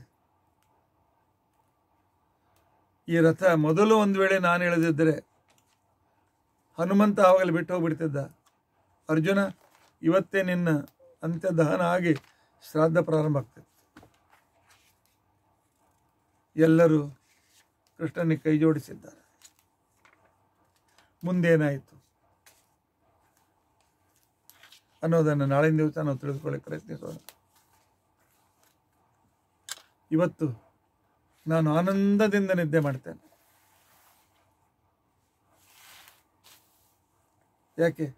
ಹದಿನೆಂಟು ದಿನಗಳಲ್ಲಿ ನಾಸ್ತಿಕ ಮತ ಚಾರ್ವಾಕ, ಜೈನ, ಬೌದ್ಧ, ನಿರೀಶ್ವರ ಸಾಂಖ್ಯ ಸೇಶ್ವರ ಸಾಂಖ್ಯ. ಯೋಗ, ವೈಶೇಷಿಕ, ನೈಯಾಯಿಕ, ಶೇಶ್ವರ ಮೀಮಾಂಸಕರು, ನಿರೀಶ್ವರ ಮೀಮಾಂಸಕರು. ಎಲ್ಲರ ಜೊತೆಯಲ್ಲಿ ಮಿಥ್ಯಾವಾದ, ಮಾಯಾವಾದ, ವಿಶಿಷ್ಟಾದ್ವೈತವಾದ, ಅಹಂ ಬ್ರಹ್ಮಾಸ್ಮಿ ಅಂತ ವಾದ. ಎಲ್ಲೂ ಖಂಡನೆಯಾಗಿ ಕೊನೆಗೆ ವಿಪರೀತ ಜ್ಞಾನ ರೂಪವಾದ ದುರ್ಯೋಧ ದುಶ್ಯಾಸನ ಸತ್ತ ಮೇಲೆ ಇವತ್ತು ಶ್ರೀಮದಾಚಾರ್ಯ ಕೊಟ್ಟ ಜ್ಞಾನದಿಂದ ಜಗತ್ತಿನ ಜನರಲ್ಲಿದ್ದ ಅಜ್ಞಾನ ರೂಪಿಯಾದ ದುರ್ಯೋಧನ ಹೊರಟೋದ. ಇನ್ನು ನಾನು ಎಲ್ಲರಿಗೂ ಬೇಕಾದವಳಾಗ್ತಾನೆ. ಎಲ್ಲರೂ ನನ್ನ ಅಧ್ಯಯನ ಮಾಡ್ಲಿಕ್ಕೆ ಪ್ರಾರಂಭ ಮಾಡ್ತಾರೆ ಅಂತ ಅನ್ನೋ ಪರಮ ಆನಂದ ನನಗಾಗಿದೆ. ಯಾಕೆ ಸಕಲ ವಿದ್ಯೆಯ ಸ್ವರೂಪಳು ನಾನು. ಇನ್ನೂ ನನ್ನ ಪರೀಕ್ಷೆ ಮುಗಿದಿಲ್ಲ. ಮುಂದೆ ಯಾವ ರೀತಿಯಾಗಿ ಮುಂದಿನ ಪರೀಕ್ಷೆಯಲ್ಲಿ ಕೂಡ ನಾನು ಜಯಶಾಲಿ ಆಗ್ತೇನೆ ಅನ್ನೋ ನನ್ನ ಕಥೆ ಹೇಳ್ತೇನೆ. ಇವತ್ತಿಗೆ ಇಲ್ಲಿ ನಿಲ್ಲಿಸೋಣ. ಇತಿಹಾಸ ಕಥಾ ಪ್ರಸಕ್ತಿ. ಹರೇ ರಾಮ ಹರೇ ರಾಮ. ರಾಮ ರಾಮ, ಹರೇ ಹರೇ. ಹರೇ ಕೃಷ್ಣ ಹರೇ ಕೃಷ್ಣ ಕೃಷ್ಣ ಕೃಷ್ಣ, ಹರೇ. ಉಗ್ರಂ, ವೀರಂ, ಮಹಾವಿಷ್ಣುಂ. ज्वलंतम सर्वतोमुखम। नृसिंहम भीषणम भद्रम मृत्यु मृत्यु नमा अच्युतानंद गोविंद स्मृतिमात्रनाशन रोगान्मे नाशयाशेषा आशुधन्वंतरे अच्युतानंद गोविंद नामोच्चारण बैठ नश्यंत सकला रोगा सत्यम सत्यम वदाम। अक्षय कर्मेस्मिन परे स्वर्पितम। प्रक्षेम्यांत दुःखानि यन्नामतः। अक्षरो योजर सर्वदेवामृता कुक्षिकम विश्व सदाचारिकम। பீணயாம வாசுதேவம் தேவதாமண்டலாக ஸ்ரீகிருஷ்ணார்ப்பணம்